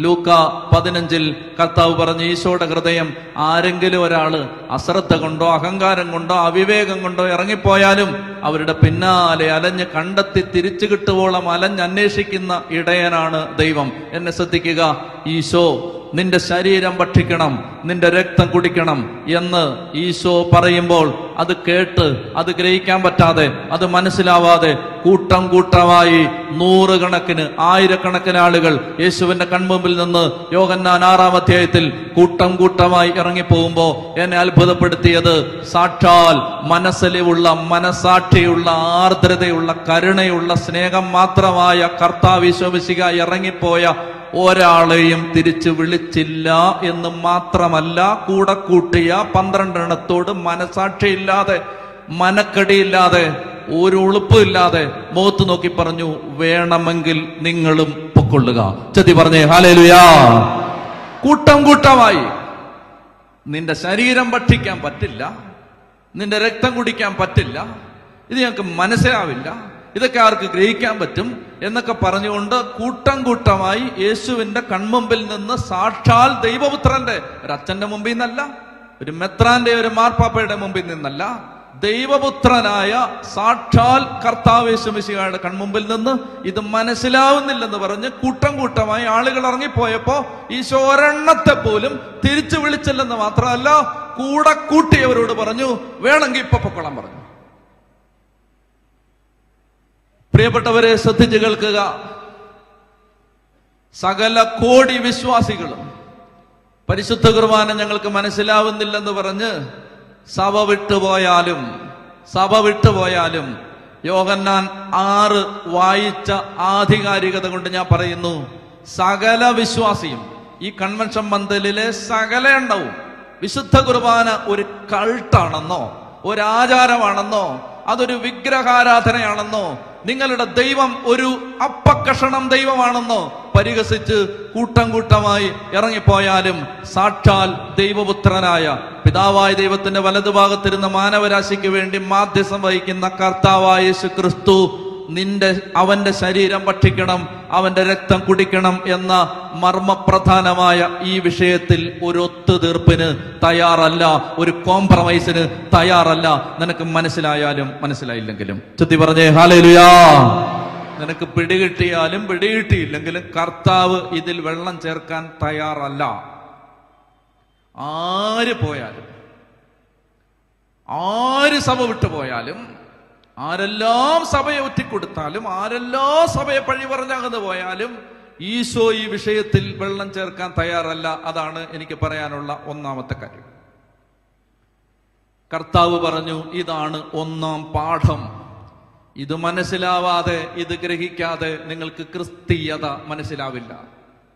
ഉൽപ്പത്തി പുസ്തകത്തിൽ പാപം ചെയ്ത ആദത്തിന്റെയും ഹവയുടെയും മുഖത്തിന് നേരെ ഏതൻ തോട്ടത്തിന്റെ വാതിൽ കൊട്ടി അടച്ചുകൊണ്ട് ദൈവം പറയും ജീവവൃക്ഷത്തിന്മേൽ കൈനീട്ടി അവർ ഭക്ഷിക്കാൻ പാടില്ല. തിന്നാൻ പാടില്ല എന്നത് പാപത്തിന്റെ ശിക്ഷ. തിന്നരുത് എന്നത് പാപത്തിന്റെ ശിക്ഷ. തിന്നണം എന്നത് പാപപരിഹാരം. നിങ്ങൾ എന്റെ ശരീരം ഭക്ഷിക്കണം നിങ്ങൾ എന്റെ രക്തം കുടിക്കണം. വിജയം വരിക്കുന്നവന് വെളിപാട് പുസ്തകം പറയുന്നു ജീവവൃക്ഷത്തിൽ നിന്ന് ഞാൻ ഭക്ഷിക്കാൻ കൊടുക്കും വിജയം വരിക്കുന്നവന്. വിജയം വരിക്കുന്നവന് ഞാൻ നിഗൂഢമന്ന ഭക്ഷിക്കാൻ കൊടുക്കും. ചെത്തി പറഞ്ഞേ ഹാലേലുയാ ഹാലേലുയാ.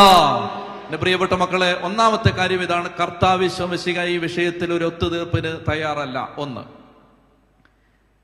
രണ്ടാമത്തേത് പിശാജ് എന്ത് പറയുന്നു? കർത്താവ് എന്ത് പറയുന്നു? കണ്ടു. കർത്താവ് വെള്ളം ചേർക്കാൻ താല്പര്യമില്ല. പിശാജ് എന്ന് പറയുന്നു. പിശാജിന്റെ താല്പര്യം ഞാൻ പറയാം. പിശാജിന് വിശുദ്ധ കുർബാനെ ഭയമാണ്. പിശാജിന് വിശുദ്ധ കുർബാന നടക്കുന്നത് ഇഷ്ടമില്ല. പിശാജിന് വിശുദ്ധ കുർബാന മുടങ്ങുന്നതിനോടാണ് താല്പര്യം. പിശാജിന് വിശുദ്ധ കുർബാനയിൽ നിന്ന് ജനത്തെ അകറ്റാനാണ് ഇഷ്ടം.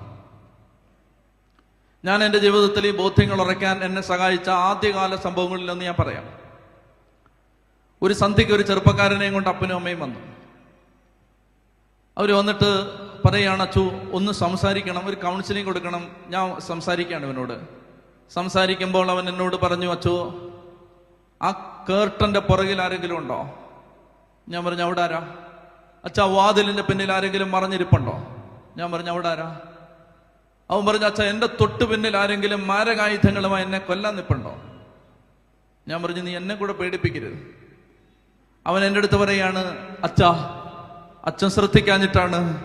ഇവിടെ ആരോ ഉണ്ട്. ഒരു നിഴലനക്കം എനിക്ക് കാണാം. ഒരു കത്തിയുടെ കത്തിമനത്തുമ്പ് പാളുന്നതിന്റെ ആ കാഴ്ച എനിക്ക് കാണാം. ഞാൻ പറഞ്ഞ എന്റെ പൊന്നുമോനെ ഇവിടെ ആരുമില്ല. ഇവിടെ ഞാൻ മാത്രമേ ഉള്ളൂ. കൊല്ലണമെങ്കിൽ നിന്നെ ഞാൻ കൊല്ലണം. ഞാൻ കൊല്ലില്ല. അവൻ പറഞ്ഞു അച്ഛാ അച്ഛാ അച്ഛൻ അറിയാത്തത് കൊണ്ടാണ്. എന്നെ ആരോ കൊല്ലാൻ നടക്കുകയാണ് അപ്പം ഞാൻ ഇവന്റെ മാതാപിതാക്കളെ വിളിച്ചു. സംസാരിക്കുമ്പോൾ നാല് കൊല്ലമായി ദേവാലയത്തിൽ പോയിട്ട് പാട്ടുകാരനാണ്. പള്ളി ചെന്നൊരിക്കൽ പാട്ട് പാടി. പള്ളിയിൽ മറ്റുള്ളവരെ പ്രോത്സാഹിപ്പിക്കുന്നവരായിരുന്നുകൊണ്ട് ഒരു പത്ത് പേര് പറഞ്ഞു പാട്ട് മോശമായിരുന്നെന്ന്. അന്ന് ഇവന്റെ മനസ്സ് തകർന്നു. പിന്നെ ഒരൊറ്റ ദിവസം പോലും പള്ളിയിൽ പോകാൻ താല്പര്യപ്പെട്ടില്ല. ഞായറാഴ്ച ദിവസം ദേവാലയത്തിൽ പോവാൻ മാതാപിതാക്കൾ വിളിക്കുമ്പോൾ അവൻ പറഞ്ഞു നിങ്ങൾ പൊക്കോളുക എന്നെ നിർബന്ധിക്കരുത്. അടുത്തയാഴ്ച ദേവാലയത്തിൽ പോകാൻ അവർ നിർബന്ധിക്കുമ്പോൾ ഇവൻ വയലന്റായി അടുത്ത ആഴ്ച നിർബന്ധിക്കുമ്പോൾ ഇവൻ കയ്യിൽ കിട്ടിയത് അടിച്ച് തകർക്കാൻ തുടങ്ങി. പിന്നെ മാതാപിതാക്കൾ നിർബന്ധിക്കാതായി. നാല് വർഷം മുറിയിൽ കഥകടച്ചിരുന്ന് അവന്റെ സംഗീത ഉപകരണത്തിൽ പാട്ട് പ്രാക്ടീസ് ചെയ്ത് നാല് കൊല്ലം കഴിച്ചുവിട്ടു. ഈ നാല് വർഷത്തിനിടയിൽ ഇവന് ചില നിർണായകമായ മാറ്റങ്ങൾ സംഭവിച്ചു. ഇവന്റെ ഉള്ളിൽ അഗാധമായ അകാരണമായ കാരണമില്ലാത്തൊരു ഭയവും ഭീതിയും ഇവനെ വരിഞ്ഞു മുറുക്കാൻ തുടങ്ങി. വണ്ടിയെടുത്ത് മുറ്റത്തേക്കിറങ്ങാൻ പേടി. വണ്ടിയെടുത്ത് വെളിയിലേക്ക് എങ്ങാനും ഇറങ്ങിയാൽ എതിരെ വരുന്നവർ തന്നെ കൊല്ലാൻ വരുന്നു എന്ന ഭയം. കർച്ചീവ് കൊണ്ട് മുഖം മറച്ചിട്ടാണ് ഈ ഇരുപത്തിമൂന്നുകാരന്റെ നടപ്പ്. വീട്ടിൽ നിന്ന് അപ്പനും അമ്മയും ജോലിക്ക് പോകാൻ സമ്മതിക്കില്ല. വീട് വിട്ട് പുറത്തിറങ്ങിയാൽ ഗേറ്റിനരികെ നിങ്ങളെ കൊല്ലാൻ കാത്തു നിൽക്കുന്ന വാടക കൊലയാളികളുണ്ട് എന്നാണ് ഇവന്റെ ഭാഷ്യം. തന്നെ കൊല്ലാനും മാതാപിതാക്കളെ അഭയപ്പെടുത്താനും ആരോ കാത്തു നിൽക്കുന്നുവെന്ന അകാരണമായ കാരണമില്ലാത്തൊരു ഭയം ഇവനെ വേട്ടയാടുകയാണ്. മാതാപിതാക്കൾ ഉപദേശിച്ചു നോക്കി ശാസിച്ചു നോക്കി കരഞ്ഞു നോക്കി. പക്ഷെ ഇത് മാറുന്നില്ല. ഒരു ദിവസം ഒരു വൈകുന്നേരം അവൻ പറഞ്ഞു ഞാൻ ഇന്ന് അപ്പന്റെ അമ്മയുടെ നടുക്കാണ് കിടക്കുന്നത്. എനിക്ക് ഒറ്റയ്ക്ക് കിടക്കാൻ പേടിയാണ്. രാത്രിയിൽ ലൈറ്റ് ഓഫ് ചെയ്യാൻ പാടില്ല. ഈ അവസ്ഥയിൽ മാതാപിതാക്കൾ വളരെ ഭാരപ്പെട്ട് വന്നിരിക്കുകയാണ്. ഞാൻ ഈ അവസ്ഥ കണ്ടിട്ട് എന്റെ മാനുഷിക ബുദ്ധിയിൽ ഞാൻ അവരോട് പറഞ്ഞു ഇവന് വേണ്ടത് നല്ല സൈക്കാട്രിക് ട്രീറ്റ്മെന്റ് ആണ്. എനിക്ക് തിരുവനന്തപുരത്ത് ഏറ്റവും നല്ല സൈക്കാട്രിക് ഡോക്ടറെ അറിയാം. നമ്പർ എന്റെ കയ്യിലുണ്ട് ഞാൻ വിളിച്ച് അപ്പോയിൻമെന്റ് എടുക്കാം. നിങ്ങൾ അവിടെ കൊണ്ടുപോവുക. അവരെന്റെ അടുത്ത് ഇങ്ങനെ മറുപടി പറഞ്ഞു വച്ചാ ഇത് കേരളമാണ് ഇത് മലയാള നാടാണ്. ഒരു സൈക്കാട്രിക് ഡോക്ടറുടെ വരാന്തയിൽ ഞങ്ങളെ വിളിക്കുന്ന ഊഴങ്കാത്ത് ഞങ്ങൾ ഇരുന്നാൽ പരിചയമുള്ള ആരെങ്കിലും ഞങ്ങളെ കണ്ടാൽ അവർ നാളെ മുതൽ എന്റെ മകന്റെ നെറ്റിയിൽ ഒരു ലേബൽ ഒട്ടിച്ചു വെക്കും പ്രാന്തൻ. ആ ജീവനാന്തം പിന്നെ അവന്റെ തിരുനെറ്റിയിൽ നിന്ന് അങ്ങനെ ഒരു അടയാളം മാറാനിടയില്ല. ഞങ്ങളുടെ ഏക മകനാണിവൻ. അച്ഛാ അങ്ങനെ ആജീവനാന്തം ഭ്രാന്തൻ എന്ന വിളിപ്പേര് ഇവന്റെ നെറ്റിയിൽ എഴുതി ഒട്ടിക്കപ്പെടാൻ താല്പര്യമില്ലാത്തതുകൊണ്ടാണ് ഞങ്ങൾ ഇങ്ങനെ അച്ഛന്റെ സഹായം ചോദിച്ചു വരുന്നത്. അച്ഛന് പ്രാർത്ഥിച്ചൂടെ? പ്രാർത്ഥിച്ചാൽ ഈ രോഗം മാറുമോ എന്ന് എനിക്ക് സംശയമുണ്ട്. എന്റെ മാനുഷിക ബുദ്ധിയിൽ ഞാൻ അങ്ങനെ സംശയിക്കുന്നുണ്ട് ആ കാലത്ത്. അതുകൊണ്ട് ഞാൻ അവരെ എന്തെങ്കിലും പറഞ്ഞ് ഒഴിവാക്കാൻ ശ്രമിച്ചു. പക്ഷെ അവർ ഒഴിവായി പോവാൻ തയ്യാറല്ലായിരുന്നു. ആ സമയത്ത് ഒരു പത്ത് പതിമൂന്ന് ചെറുപ്പക്കാർ എന്റെ ഒപ്പം വന്ന് പ്രാർത്ഥിക്കാൻ വൈകുന്നേരങ്ങളിൽ ദേവാലയത്തിൽ വരുമായിരുന്നു അവരിങ്ങനെ പ്രാർത്ഥിച്ചുകൊണ്ടിരിക്കുന്ന സമയത്ത് അവരോട് ഞാൻ പറഞ്ഞു ഇങ്ങനെ ഒരു കുടുംബം വന്നിട്ടുണ്ട് നിങ്ങൾ കർത്താവിനോട് അടുത്ത് പ്രാർത്ഥിക്കുമ്പോൾ കർത്താവ് എന്തെങ്കിലും പറയുന്നെങ്കിൽ എന്നോട് പറയുക. കുറേ സമയം പ്രാർത്ഥിച്ചിട്ട് അതിലൊരാൾ ഓടി വന്നിന്റെ അടുത്ത് പറഞ്ഞു അച്ചോ കർത്താവ് പറയുന്നു ഇവനെ കുമ്പസാരിപ്പിച്ച് അപ്പനെ അമ്മയും കുമ്പസാരിപ്പിച്ച് അച്ഛനെ ഇവർക്ക് വേണ്ടി ബലിയർപ്പിച്ചാൽ ഇത് മാറുമെന്ന് കർത്താവ് പറയുന്നു. ഈശോമിശിഹായുടെ മുമ്പിൽ ഞാൻ പറയുകയാണ് സത്യമായും ഞാനത് വിശ്വസിച്ചില്ല. സത്യമായും ഞാനത് വിശ്വസിച്ചില്ല. കാരണം ഞാനിവരെ കുമ്പസാരിപ്പിച്ച് ഈ മനസ്സിന്റെ താളം തെറ്റി മാനസിക രോഗത്തിന്റെ വരമ്പിലെത്തി നിൽക്കുന്ന ബോർഡർ ലൈനിലെത്തി നിൽക്കുന്ന ഒരു ചെറുപ്പക്കാരനെ കുമ്പസാരിപ്പിച്ചവന് വേണ്ടി കുർബാന ചൊല്ലിയാൽ അവന്റെ മനസ്സിന്റെ താളപ്പിഴ മാറുമോ എന്ന് മാനുഷിക ബുദ്ധിയിൽ എനിക്ക് സംശയവും ചോദ്യവും ഉണ്ടായിരുന്നത് കൊണ്ട് ഞാനത് വലിയ ഗൗരവമായിട്ട് എടുത്തില്ലെങ്കിലും ഇങ്ങനെ കർത്താവ് പറഞ്ഞു എന്നൊക്കെ പറയുമ്പോൾ അതിനെ നിഷേധിക്കാൻ തോന്നാത്തത് കൊണ്ട് ഞാൻ അവരോട് പറഞ്ഞു ദേ ഇവരൊക്കെ പ്രാർത്ഥിക്കുന്ന ആളുകളാണ്. അവർ പറയുന്നു നിങ്ങൾ കുമ്പസാരിച്ചാൽ നിങ്ങൾ ഇവിടെ ബലിയർപ്പിച്ചാൽ ഇത് മാറുമെന്ന് പറയുന്നു നിങ്ങൾക്ക് കുമ്പസാരിക്കാൻ താല്പര്യമുണ്ടോ? അവർ പറഞ്ഞു ഞങ്ങൾ ഇപ്പൊ കുമ്പസാരിക്കാം. ഞാൻ പറഞ്ഞു ഇപ്പൊ കുമ്പസാരിക്കണ്ട. നിങ്ങൾ കുമ്പസാരിക്കാൻ ഒരുങ്ങ്. അങ്ങനെ ഒരുങ്ങാൻ സഹായിക്കുന്ന കൽപ്പനകളൊക്കെ വിശദീകരിച്ചെഴുതിയ പേപ്പറുകളുണ്ടല്ലോ അതൊക്കെ കൊടുത്ത് ഞാൻ വിട്ടു. വരില്ലെന്നായിരുന്നു എന്റെ കണക്ക് കൂട്ടൽ പിറ്റേ ദിവസം പറഞ്ഞതിനും നേരത്തെ അവർ വന്നു. അവർ കുമ്പസാരിക്കാൻ ദേവാലയത്തിലിരിക്കുമ്പോൾ എനിക്ക് പള്ളിയിൽ പ്രാർത്ഥിച്ചുകൊണ്ടിരുന്ന ആളുകളെ പുറത്തിറക്കി വിടേണ്ടി വന്നു. കാരണം അത്ര ഉച്ചത്തിലായിരുന്നു അവന്റെ അപ്പന്റെയൊക്കെ കുമ്പസാരം. വർഷങ്ങളായി ദൈവസന്നിധിയിൽ ഏറ്റുപറയാതിരുന്ന പാപങ്ങളൊക്കെയും ചങ്ക് പൊട്ടിയും വാവിട്ട് കരഞ്ഞും ഈ മനുഷ്യൻ ഉച്ചത്തിൽ ഏറ്റുപറയുമ്പോൾ മറ്റാളുകൾ അത് കേൾക്കാതിരിക്കാൻ ഈ മനുഷ്യനെ പുറത്തിറക്കി നിർത്തേണ്ടി വന്നു എനിക്ക്. ഈ മറ്റുള്ളവരെ വെളിയിലിറക്കി നിർത്തേണ്ടി വന്നു. അങ്ങനെ അവർ ഹൃദയം പൊട്ടിക്കരഞ്ഞ് കുമ്പസാരിച്ചു. അതിനുശേഷം ഞങ്ങൾ പതിമൂന്ന് പേര് പ്രാർത്ഥിക്കാൻ എത്തുന്നവരും ഞാനും ഈ മൂന്ന് പേരും അങ്ങനെ പതിനേഴ് പേര് ആ സന്ധ്യയിൽ ഒരു കുർബാന അർപ്പിച്ചു. പ്രിയപ്പെട്ടവര് ആ ബലി അർപ്പിക്കുമ്പോഴും ഞാൻ നിങ്ങളോട് പറയുന്നു എന്റെ ഉള്ളിൽ ഇങ്ങനെ കുമ്പസാരിപ്പിച്ച് കുർബാന ചൊല്ലിയാൽ ഇങ്ങനെയുള്ള പ്രശ്നങ്ങൾ മാറൂ. എനിക്ക് ഒരു ഉറപ്പുമില്ല മുൻ അനുഭവങ്ങളൊന്നുമില്ല. ആ കാലഘട്ടങ്ങളിൽ എനിക്കതിനെക്കുറിച്ച് കാര്യമായ ബോധ്യങ്ങളും ഇല്ല. ബലി അർപ്പിച്ച് പ്രാർത്ഥിച്ചു. ഇവർ വിശുദ്ധ കുർബാന സ്വീകരിച്ചു. ഞാൻ ഇവർക്ക് വിശുദ്ധ കുർബാന കൊടുത്തു. ഒടുവിൽ അവരുടെ തലയൊക്കെ വെച്ച് ഒരു മിനിറ്റ് ഇങ്ങനെ പ്രാർത്ഥിച്ചു വിട്ടു.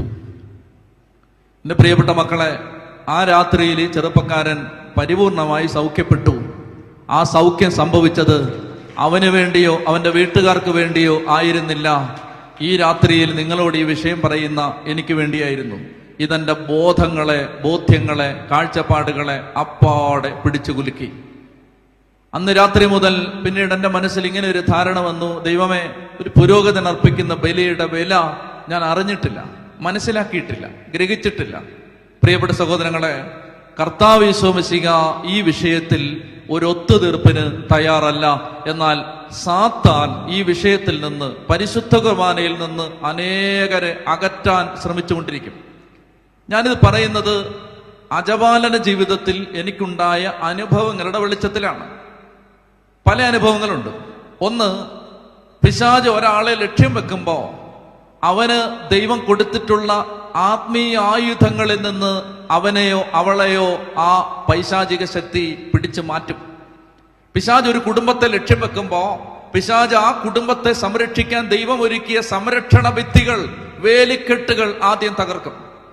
സാത്താൻ ഒരു വ്യക്തിയെ ഒരു ചെറുപ്പക്കാരനെ ഒരു കുടുംബത്തെ ഒരു ചെറുപ്പക്കാരിയെ ഒരു കുടുംബനാഥനെ കുടുംബനാഥയെ ഒരു കുടുംബത്തേക്ക് ലക്ഷ്യം വെക്കുമ്പോൾ ആദ്യം ചെയ്യുന്നത് അവരെ ദൈവം കെട്ടിയ സംരക്ഷണ ഭിത്തി പൊളിച്ച് പുറത്തു കൊണ്ടുവരും. അങ്ങനെയാണ് അനേകരെ അനേകായിരങ്ങളെ ബലിപീഠങ്ങളിൽ നിന്ന് പിശാജ് അകറ്റുന്നതിൽ വിജയിച്ചത്. അനേകായിരങ്ങൾക്ക് നൊവേനകളോട് താല്പര്യവും വിശുദ്ധ കുർബാനയോട് താല്പര്യമില്ലായ്മയും വന്നത് അങ്ങനെയാണ്. അങ്ങനെയാണത്. അതൊരു സഭയുടെ ഗതികേടാണ്. അതൊരു പള്ളിയുടെ ഗതികേടാണ്. അതൊരു ആരാധനാ സമൂഹത്തിന്റെ ഗതികേടാണ്. നൊവേനക്കാളും കുർബാനക്കാളും ഇല്ലാതിരിക്കുന്നത് അത് ഗതികേടാണ്. നമ്മുടെ ഗതികേടിന്റെ അങ്ങേയറ്റമാണത്. പ്രിയപ്പെട്ടവരെ നിങ്ങൾ എന്നെ ശ്രദ്ധിച്ച് കേൾക്കണം. സാത്താൻ അതിൽ വിജയിച്ചു. ഒരു നല്ല ശതമാനം വിജയിച്ചു. ഇല്ലെങ്കിൽ നിങ്ങൾ പറ ഇല്ലെന്ന്? വിജയിച്ചു. പ്രിയപ്പെട്ടവരെ അവനറിയാം അവനറിയാം നോവേന കൊണ്ടൊന്നും പൈശാചിക ശക്തിയെ തറക്കാൻ പറ്റില്ല.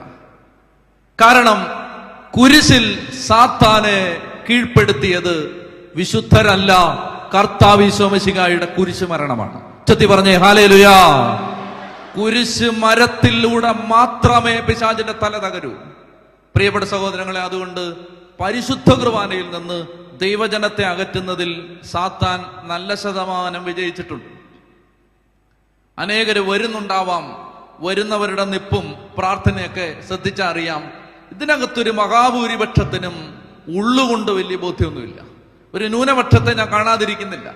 പക്ഷെ എന്റെ പ്രിയപ്പെട്ട മക്കളെ ഈ രാത്രിയിൽ ഹൃദയത്തിൽ കൈവച്ച് എത്ര പേർക്ക് പറയാൻ പറ്റുമെന്ന് എന്നോടാരും പറയണ്ട. സ്വയം ചിന്തിച്ചാൽ മതി. അതായത് ഞാൻ നൂറ് ശതമാനം കർത്താവിന്റെ ബലിപീഠത്തിൽ അർപ്പിക്കപ്പെടുന്ന ഈ ബലി യേശുവിന്റെ കുരിശിലെ ബലിയാണെന്നും ആ ബലിയാൽ എന്റെ പാപത്തിന്റെയും ശാപത്തിന്റെയും പൈശാചിക ബന്ധനത്തിന്റെയും കെട്ടഴിയുമെന്ന് ഞാൻ ഞാൻ വിശ്വസിക്കുന്നുവെന്ന് പറയാൻ ബലമുള്ള എത്ര പേരെ കൺവെൻഷൻ പന്തലുകളിൽ കണ്ടുമുട്ടാമെന്ന് എനിക്ക് സന്ദേഹമുണ്ട് സംശയമുണ്ട് ആശങ്കയുണ്ട് ഉത്കണ്ഠയുണ്ട്. ചെത്തി പറഞ്ഞേ ഹാലേലുയാ. എന്റെ പ്രിയപ്പെട്ട മക്കളെ ശ്രദ്ധിച്ചിരിക്കുക. പിശാചിന് ഭയമാണ്. ഞാൻ കണ്ടിട്ടുണ്ട്. പൈശാചിക ബാധയുള്ള കുട്ടികളെ പൈശാചിക ബാധയുള്ള കുട്ടികൾ. അങ്ങനെ ഒരു കുട്ടിയെ ഞാൻ എന്റെ ജീവിതത്തിലുണ്ട അനുഭവങ്ങളിൽ ഞാൻ പറയുകയാണ്. വിശുദ്ധ കുർബാന എഴുന്നള്ളിച്ച് പരിശുദ്ധ കുർബാന എടുത്ത് ഉയർത്തിപ്പിടിച്ചാൽ ഈ അടിയേറ്റൊരു പാമ്പ് പൊളയുന്നത് പോലെ പൊളയുന്നതും മുഖം തിരിക്കുന്നതും ഞാൻ കണ്ടൊരു വിശുദ്ധ കുർബാനയിലേക്ക് നോക്കാൻ പറ്റാതെ പൈശാചിക ബാധയുള്ള കുട്ടികളൊക്കെ ഇങ്ങനെ അങ്ങനെ പോകുന്ന ഞാൻ കണ്ടിട്ടുണ്ട്. അനേക അനുഭവങ്ങളുണ്ട്. ഞാൻ ഈ- ഈ ഈ ഒരു രാത്രിയിലെ സമയത്തുരുക്കം കൊണ്ട് ഒത്തിരി കാര്യങ്ങളിലേക്ക് പോകുന്നില്ല. അതായത് വിശുദ്ധ കുർബാനയെ സാത്താന് ഭയമാണ്. ഞാൻ പറയാറുള്ള ഒരു ഉദാഹരണം ഇതാണ്. കോഴിക്കോട് ഒരു കോളേജിൽ ധ്യാനം നടക്കുമ്പോൾ അവിടെ കൗൺസിലിങ്ങിന് സഹായിക്കുന്നത് ഒരു സഹോദരനാണ് ഒരു അല്പം മധ്യവയസ്കനായ പ്രായമുള്ളൊരു ചേട്ടൻ. ആ ചേട്ടൻ ഈ പെൺകുട്ടികളുടെ കോളേജാണ്. കുട്ടി കുട്ടികളിങ്ങനെ കൗൺസിലിങ്ങിന് വരുമ്പോൾ സിസ്റ്റേഴ്സ് നിർബന്ധിച്ച് ഒരു കുട്ടിയെ കൊണ്ടുവിട്ടു. നിർബന്ധിച്ച് തള്ളിവിട്ടതാണ്. അപ്പൊ ഇതൊട്ടും താല്പര്യമില്ലാതെ ഇങ്ങനെ വന്നിരുന്നു. അപ്പൊ ഈശോ ഇങ്ങനെ സന്ദേശം കൊടുത്തു. ഇവൾ എന്നെ എന്നെ വിൽക്കുന്നവളാണ്. അപ്പൊ പെട്ടെന്ന് അദ്ദേഹം ചോദിച്ചു നീ നീ വിശുദ്ധ കുർബാന വിൽക്കുന്നുണ്ടോ? അവൾ പെട്ടെന്ന് എഴുന്നേറ്റു പോകാൻ തുടങ്ങി. അതേ അവളെ പിടിച്ചിരുത്തി. പിടിച്ചിരുത്തിയിട്ട് പറഞ്ഞു മോളെ ചോദിച്ചതിന് ഉത്തരം പറഞ്ഞേ. നീ വിശുദ്ധ കുർബാന വിൽക്കുന്നുണ്ടോ? അവൾ ഇങ്ങനെ മറുപടി പറഞ്ഞു ഞാൻ ഞാൻ പള്ളിയിൽ നിന്ന് കിട്ടുന്ന ആ അപ്പം വിൽക്കുന്നുണ്ട്. പ്രിയപ്പെട്ടവരെ പുതിയ കഥയൊന്നുമല്ല ഇത്. സാത്താൻ സേവയുണ്ട്. സാത്താൻ ആരാധനകളുണ്ട് ബ്ലാക്ക് മാസുകളുണ്ട് ഇത്തരം സന്ദർഭങ്ങളിൽ വിശുദ്ധ കുർബാനകൾ മോഷ്ടിച്ചെടുത്ത് വിൽക്കുന്നത് പുതിയ കാര്യമൊന്നുമല്ല. അത് പുതിയ അറിവൊന്നുമല്ല. അത് ഈ നാട്ടിൽ നമ്മുടെ ദൗർഭാഗ്യം കൊണ്ട് അങ്ങനെ നടക്കുന്നുണ്ട് അപ്പൊ അതിലെ ഒരു കണ്ണിയാണ് ഈ കുട്ടി. ഇത്തരം സന്ദർഭങ്ങൾ ഒത്തിരി ഒത്തിരി ഒത്തിരി ഒത്തിരി അറിയാം. ഞാൻ അതിലേക്ക് പോകുന്നില്ല. സാത്താൻ ആരാധനക്കാര് ദിവ്യകാരുണ്യം ദേവാലയങ്ങളിൽ നിന്ന് മോഷ്ടിച്ചെടുക്കാറുണ്ട്. അതിനുവേണ്ടി ആളുകളെ നിയോഗിച്ചിട്ടുണ്ട്. ഈ കുട്ടി അതിന്റെ ഒരു ഏജന്റാണ്. ഇവക്ക് കനത്ത തുക അതിന് പാരിതോഷികമായി കിട്ടും. ഇവൾ മാസങ്ങളായിട്ട് ഇത് ചെയ്തുകൊണ്ടിരിക്കുകയാണ്. അദ്ദേഹം അവളോട് പറഞ്ഞു മോളെ പെറ്റമ്മയെ ഒറ്റ കൊടുക്കുന്നതിലും ഗൗരവതരമായ തിന്മയാണ് മോളെ നീ ഇപ്പോൾ ചെയ്തുകൊണ്ടിരിക്കുന്നത്. അവൾ പറഞ്ഞു എനിക്ക് അങ്ങനെയൊന്നും ഒരു ഒരു ഒരു തരി പോലും ബോധ്യമില്ല. ഞാനിത് ഒത്തിരി നാളായിട്ട് ചെയ്യുന്ന പറഞ്ഞു. ഇതൊരു സാധാരണ അപ്പം. വെറും അപ്പം. അതിനകത്ത് എന്ത് പ്രത്യേകത? അദ്ദേഹം പറഞ്ഞു ഈ പേപ്പറിൽ ഈ സിസ്റ്ററിന്റെ പേരെഴുത്. കോൺവെന്റിന്റെ അഡ്രസ് ഫോൺ നമ്പർ. സിസ്റ്ററിന്റെ അടുത്ത് എന്ന് ഞാൻ പറഞ്ഞിട്ടാണെന്ന് പറഞ്ഞ് ഈ കത്ത് കൊടുത്താൽ സിസ്റ്റർ നിനക്ക് അഞ്ഞൂറോ ആയിരമോ ഓസ്തി തരും. വിശുദ്ധ കുർബാനയ്ക്ക് ദിവ്യകാരുണ്യമായി മാറുന്ന തിരുശരീരമായി മാറുന്ന ഓസ്തി. വിശുദ്ധ കുർബാന വിശുദ്ധ കുർബാനയ്ക്ക് ഉപയോഗിക്കുന്ന ഓസ്തി. അത് ആ കോൺവെന്റിൽ സിസ്റ്റർ സിസ്റ്റേഴ്സ് ഉണ്ടാക്കുന്നുണ്ട്. നീ പറഞ്ഞു ചെന്നോ നിനക്ക് തരും. എന്നിട്ട് നീ നേരെ അതുമായിട്ട് നിന്റെ വീട്ടിലേക്ക് ചെല്ലണം. ഇതുപോലൊരു മേശ തയ്യാറാക്കി അത്യാവശ്യമെങ്കിൽ വെള്ളത്തുണിയൊക്കെ വിരിച്ച് അത്യാവശ്യമുണ്ട് രണ്ട് തിരിയും ഒരു കുരിശുമൊക്കെ വെച്ചിട്ട് ഒരു പാത്രത്തിൽ അഞ്ഞൂറോ ആയിരമോ ഓസ്തി വെച്ചിട്ട് കുർബാന പുസ്തകം എടുക്ക്. അന്നാപ്പസക തിരുനാളിൽ മുതൽ വിശുദ്ധീകരണത്തിന്റെ ബലിപീഠമേ സ്വസ്തി വരെ പ്രാർത്ഥനയൊക്കെ ചൊല്ല്. എന്നിട്ട് സാത്താ സേവക്കാർക്ക് കൊണ്ട് കൊടുക്കുമോളെ അവൾ പറഞ്ഞു അത് നടക്കില്ലെങ്കിലേ എന്തേ?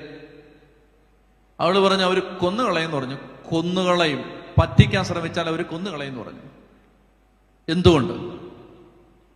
അവൾ ഇങ്ങനെ പറഞ്ഞു കൊണ്ടുകൊടുക്കുമ്പോ അവർക്കറിയാം കൊണ്ടുകൊടുക്കുന്ന ഈ തിരുവോസ്തി കയ്യിൽ വാങ്ങിച്ച് കൊണ്ടുപോകുമ്പോൾ അവർക്കറിയാം അല്ലെങ്കിൽ അവർ അകത്ത് ചെന്ന് പരിശോധിക്കുമ്പോൾ അവർക്കറിയാം ഇത് ദേവാലയങ്ങളിൽ പുരോഹിതൻ ബലിപീഠത്തിൽ അർപ്പിച്ച യേശുവിന്റെ ശരീരമായി മാറിയ ദിവ്യകാരുണ്യമാണോ? അവൾ അങ്ങനെയല്ല പറയുന്നത്? പള്ളിയിൽ അച്ഛൻ ചൊല്ലിയ കുർബാനയിൽ നിന്ന് കിട്ടിയതാണോ അല്ലയോ? ഒറിജിനൽ ആണോ?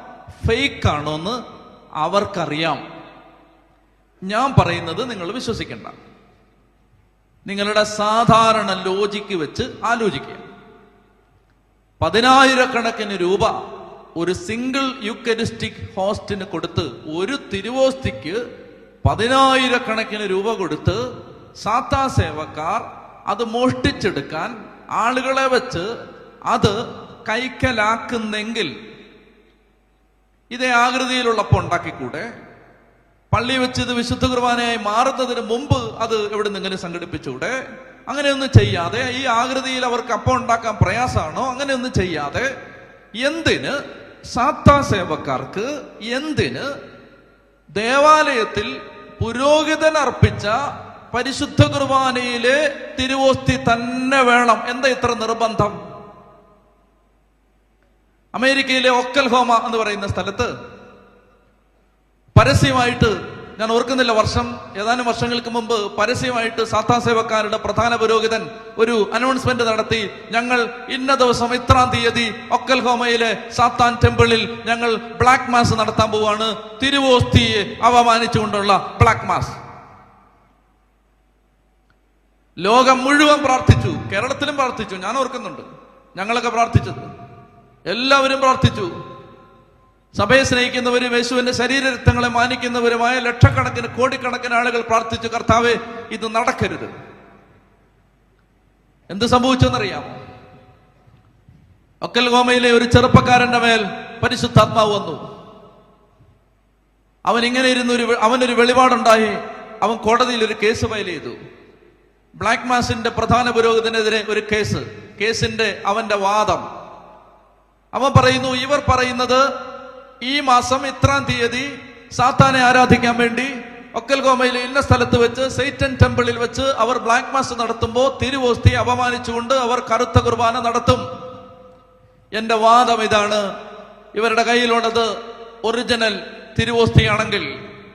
കഴിഞ്ഞ രണ്ടായിരം വർഷമായി തിരുവോസ്തി സഭയുടെ അവൻ പറയുന്നത് കത്തോലിക്ക സഭയുടെ പ്രോപ്പർട്ടി റൈറ്റ് പ്രകാരം സഭയുടെ പ്രോപ്പർട്ടിയാണ് അത് ഈ സാധാ സേവക്കാരന്റെ കയ്യിലിരിക്കുന്നെങ്കിൽ അവൻ അത് മോഷ്ടിച്ചതാണ്. മോഷ്ടിച്ചതായതുകൊണ്ട് അത് സഭയ്ക്ക് തിരിച്ചു തരണം. ഇനിയല്ല ഇത് ഒറിജിനൽ അല്ലെങ്കിൽ ഇവർ നടത്തുന്നത് തിരുവോസ്തി അപമാനിക്കുന്നു എന്ന് പറഞ്ഞ് ഫ്രോഡാണ് നടത്തുന്നത് ഇവരെ അത് നടത്താൻ ആളുകളെ വഞ്ചിക്കാൻ അനുവദിക്കരുത്. ആർഗ്യുമെന്റ് മനസ്സിലായോ? ഈ ചെറുപ്പക്കാരൻ ജയിച്ചു.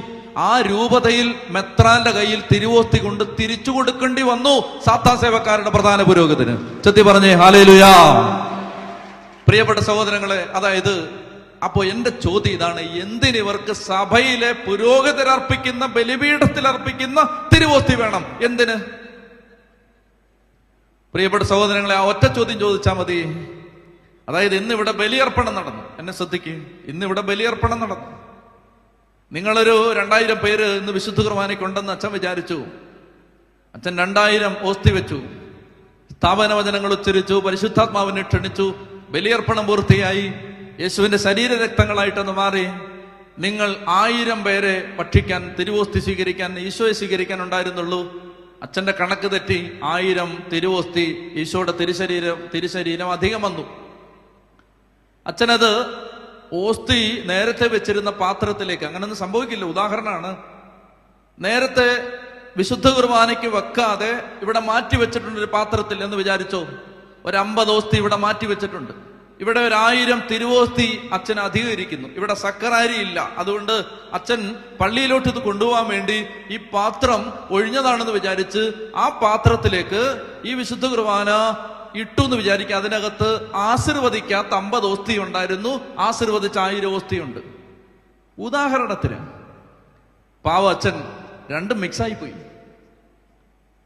രണ്ടും മിക്സ് ആയാൽ രണ്ടും കൂടി കലർന്നാൽ ഒരു സാധാരണ സാഹചര്യത്തിൽ അസ്വാഭാവികമായി ദൈവം ദൈവത്തിന്റെ പരിശുദ്ധാത്മാവ് സഹായിച്ചില്ലെങ്കിൽ ഇൻ എ നോർമൽ സിറ്റുവേഷൻ കുർബാന അർപ്പിച്ച അച്ഛൻ നിന്ന് വിറയ്ക്കും കാരണം അച്ഛൻ അറിയില്ല.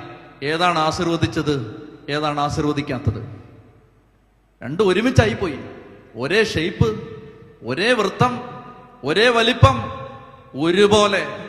മൈക്രോസ്കോപ്പിക് മിഴിവെച്ച് നോക്കിയാലും ഒരുപോലെ. ചോദ്യം ഇതാണ് പിന്നെ പിന്നെ എങ്ങനെയാണ്?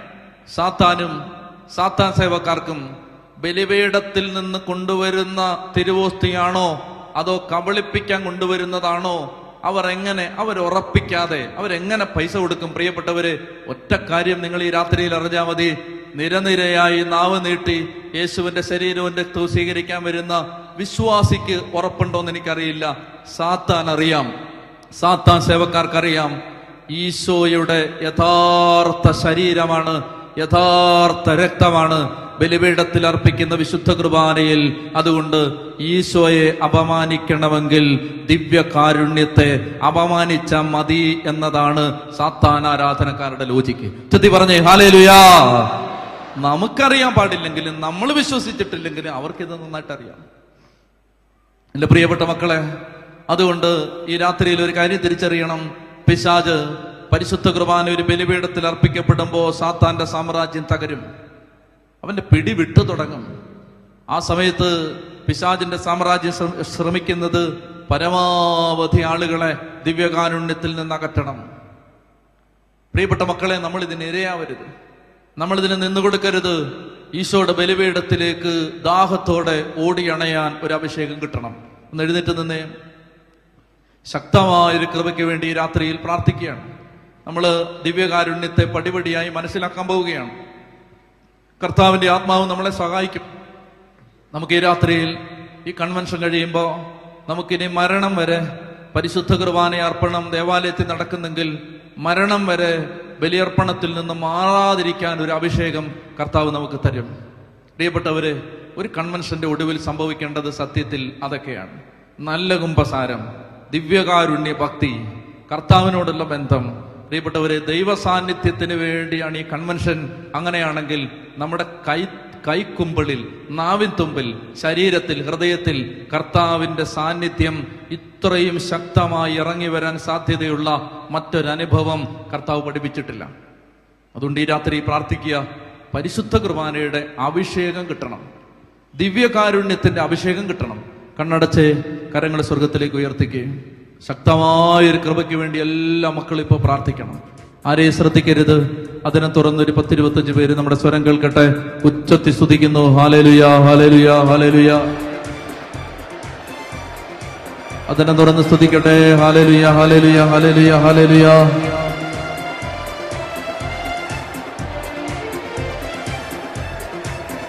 ഉച്ചത്തി സ്തുതിച്ച് ഈശോയെ നന്ദി ഈശോയെ നന്ദി ഈശോയെ നന്ദി ഈശോയെ നന്ദി ഈശോയെ നന്ദി കർത്താവേ നന്ദി ആരാധന ആരാധന ആരാധന. മഹത്വം കർത്താവെ സ്തുതിക്കുന്നു സ്തുതിക്കുന്നു സ്തുതിക്കുന്നു സ്തുതിക്കുന്നു. ആലയം മുഴുവനിലേക്കും അങ്ങയുടെ ശക്തി ഇറങ്ങി വരട്ടെ എന്ന് പ്രാർത്ഥിക്കുന്നു. ദിവ്യകാരുണ്യത്തിന്റെ അഭിഷേകം എല്ലാ മക്കളിലും നിറയട്ടെ എന്ന് പ്രാർത്ഥിക്കുന്നു. എല്ലാ ഹൃദയങ്ങളും തീപിടിക്കട്ടെ എന്ന് പ്രാർത്ഥിക്കുന്നു ഹൃദയങ്ങൾ ജ്വലിക്കട്ടെ എന്ന് പ്രാർത്ഥിക്കുന്നു. അപ്പം മുറിച്ചപ്പോൾ ഞങ്ങളുടെ ഹൃദയം തുറന്ന് ജ്വലിച്ചു. കർത്താവെ വചനം പറഞ്ഞപ്പോൾ ഞങ്ങളുടെ ഹൃദയം ജ്വലിച്ചു. എമ്മാവൂസിലേക്ക് പോയി ശിഷ്യന്മാർക്ക് അനുഭവം ഉണ്ടായതുപോലെ എല്ലാ മക്കളുടെ മേലും ആത്മാവ് വന്ന് നിറയട്ടെ. പരിശുദ്ധ കുർബാനയുടെ അഭിഷേകം വന്ന് നിറയട്ടെ. യേശുവിന്റെ തിരുരക്തം ആലയം മുഴുവൻ നിറയട്ടെ. ഈ കൺവെൻഷൻ പന്തൽ മുഴുവൻ ഈ ശബ്ദപരിധിക്കകത്ത് നിൽക്കുന്ന എല്ലാ മക്കളുടെയും ജീവിതത്തിലേക്കും കുടുംബത്തിലേക്കും കർത്താവെ ദിവ്യകാരുണ്യത്തിന്റെ അഭിഷേകം നിറയട്ടെ. ആരാധനാ കേന്ദ്രങ്ങളിൽ നിന്ന് ലോകത്തിന്റെ നാനാഭാഗത്ത് ലോകത്തിന്റെ നാല് ദിക്കുകളിൽ ഇന്ന് അർപ്പിക്കപ്പെട്ട നാലര ലക്ഷം വിശുദ്ധ കുർബാനകളുടെ ബലിപീഠങ്ങളുടെ അഭിഷേകം ഇപ്പോൾ ഈ ആലയം മുഴുവൻ വന്ന് നിറയട്ടെ എന്ന് പ്രാർത്ഥിക്കുന്നു. പൗരോഹിത്യത്തിന്റെ കൂട്ടായ്മയുടെ അഭിഷേകം വന്ന് നിറയട്ടെ എന്ന് പ്രാർത്ഥിക്കുന്നു. ബലിപീഠത്തിൽ നിന്ന് ശക്തി ഒഴുകട്ടെ എന്ന് പ്രാർത്ഥിക്കുന്നു. ബലിപീഠത്തിൽ നിന്ന് നാല് ദിക്കുകളിലേക്കും ശക്തി ഒഴുകിയിറങ്ങട്ടെ എന്ന് പ്രാർത്ഥിക്കുന്നു. നാലര ലക്ഷം ബലിപീഠങ്ങളിൽ നിന്ന് അർപ്പിക്കപ്പെട്ട പരിശുദ്ധ കുർബാനകളിൽ നിന്ന് ദേശത്തെ വിടുവിക്കാൻ ദൈവശക്തി വലിയ കൊടുങ്കാറ്റ് പോലെ ആഞ്ഞടിക്കട്ടെ എന്ന് പ്രാർത്ഥിക്കുന്നു. ദൈവമേ ഹൃദയത്തിന്റെ കെട്ട് ശരീരത്തിന്റെ കെട്ട് മനസ്സിന്റെ കെട്ട് അവിശ്വാസത്തിന്റെ സംശയത്തിന്റെ കെട്ട് യേശുവിന്റെ നാമത്തിൽ അഴിയട്ടെ എന്ന് പ്രാർത്ഥിക്കുന്നു. ശരീരത്തിന്റെ മേൽ മനസ്സിന്റെ മേൽ ആത്മാവിന്റെ മേൽ ദൈവശക്തി വന്ന് നിറയട്ടെ എന്ന് പ്രാർത്ഥിക്കുന്നു. ഹാലലുയ ഹാലലുയ ഹാലലുയ ഹാലലുയ. കരങ്ങളടിച്ച് കണ്ണടച്ച് പാടി പ്രാർത്ഥിക്കണം.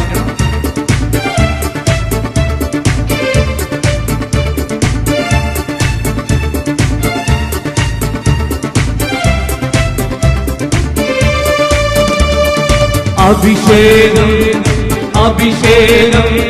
ദിവ്യകാരുണ്യത്തിൻ അഭിഷേകം. അഭിഷേകം അഭിഷേകം. ദിവ്യകാരുണ്യത്തിൻ അഭിഷേകം. അഭിഷേകം അഭിഷേകം. യേശുവിൻ ബലിയുടെ അഭിഷേകം. അഭിഷേകം അഭിഷേകം. യേശുവിൻ ബലിയുടെ അഭിഷേകം തിരുമാസദിനം പകരുന്നു. സാത്താൻ തകർന്നു വീഴുന്നു. മക്കൾ മോദിതരാകുന്നു ബലിയുടെ യോഗ്യത പകരുന്നു. ബലിയുടെ യോഗ്യത പകരങ്ങൾ എടുത്തിടിച്ച് അഭിഷേകം അഭിഷേകം. ദിവ്യകാരുണ്യത്തിൻ അഭിഷേകം അഭിഷേകം ദിവ്യകാരുണ്യത്തിൻ അഭിഷേകം അഭിഷേകം അഭിഷേകം യേശുവിൻ ബലിയുടെ അഭിഷേകം അഭിഷേകം അഭിഷേകം യേശുവിൻ ബലിയുടെ അഭിഷേകം തിരുമാംസദിനം പകരുന്നു സാത്താൻ തകർന്നു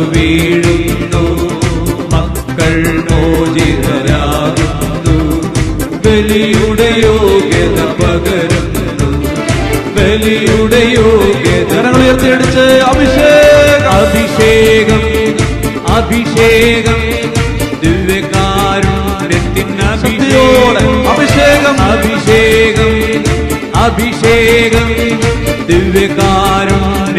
അഭിഷേകം അഭിഷേകം അഭിഷേകം.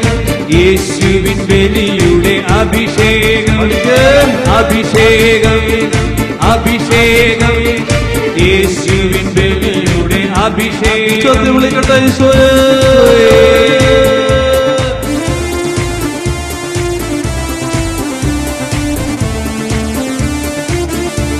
വിളിക്കട്ടെ ഈശോയെ?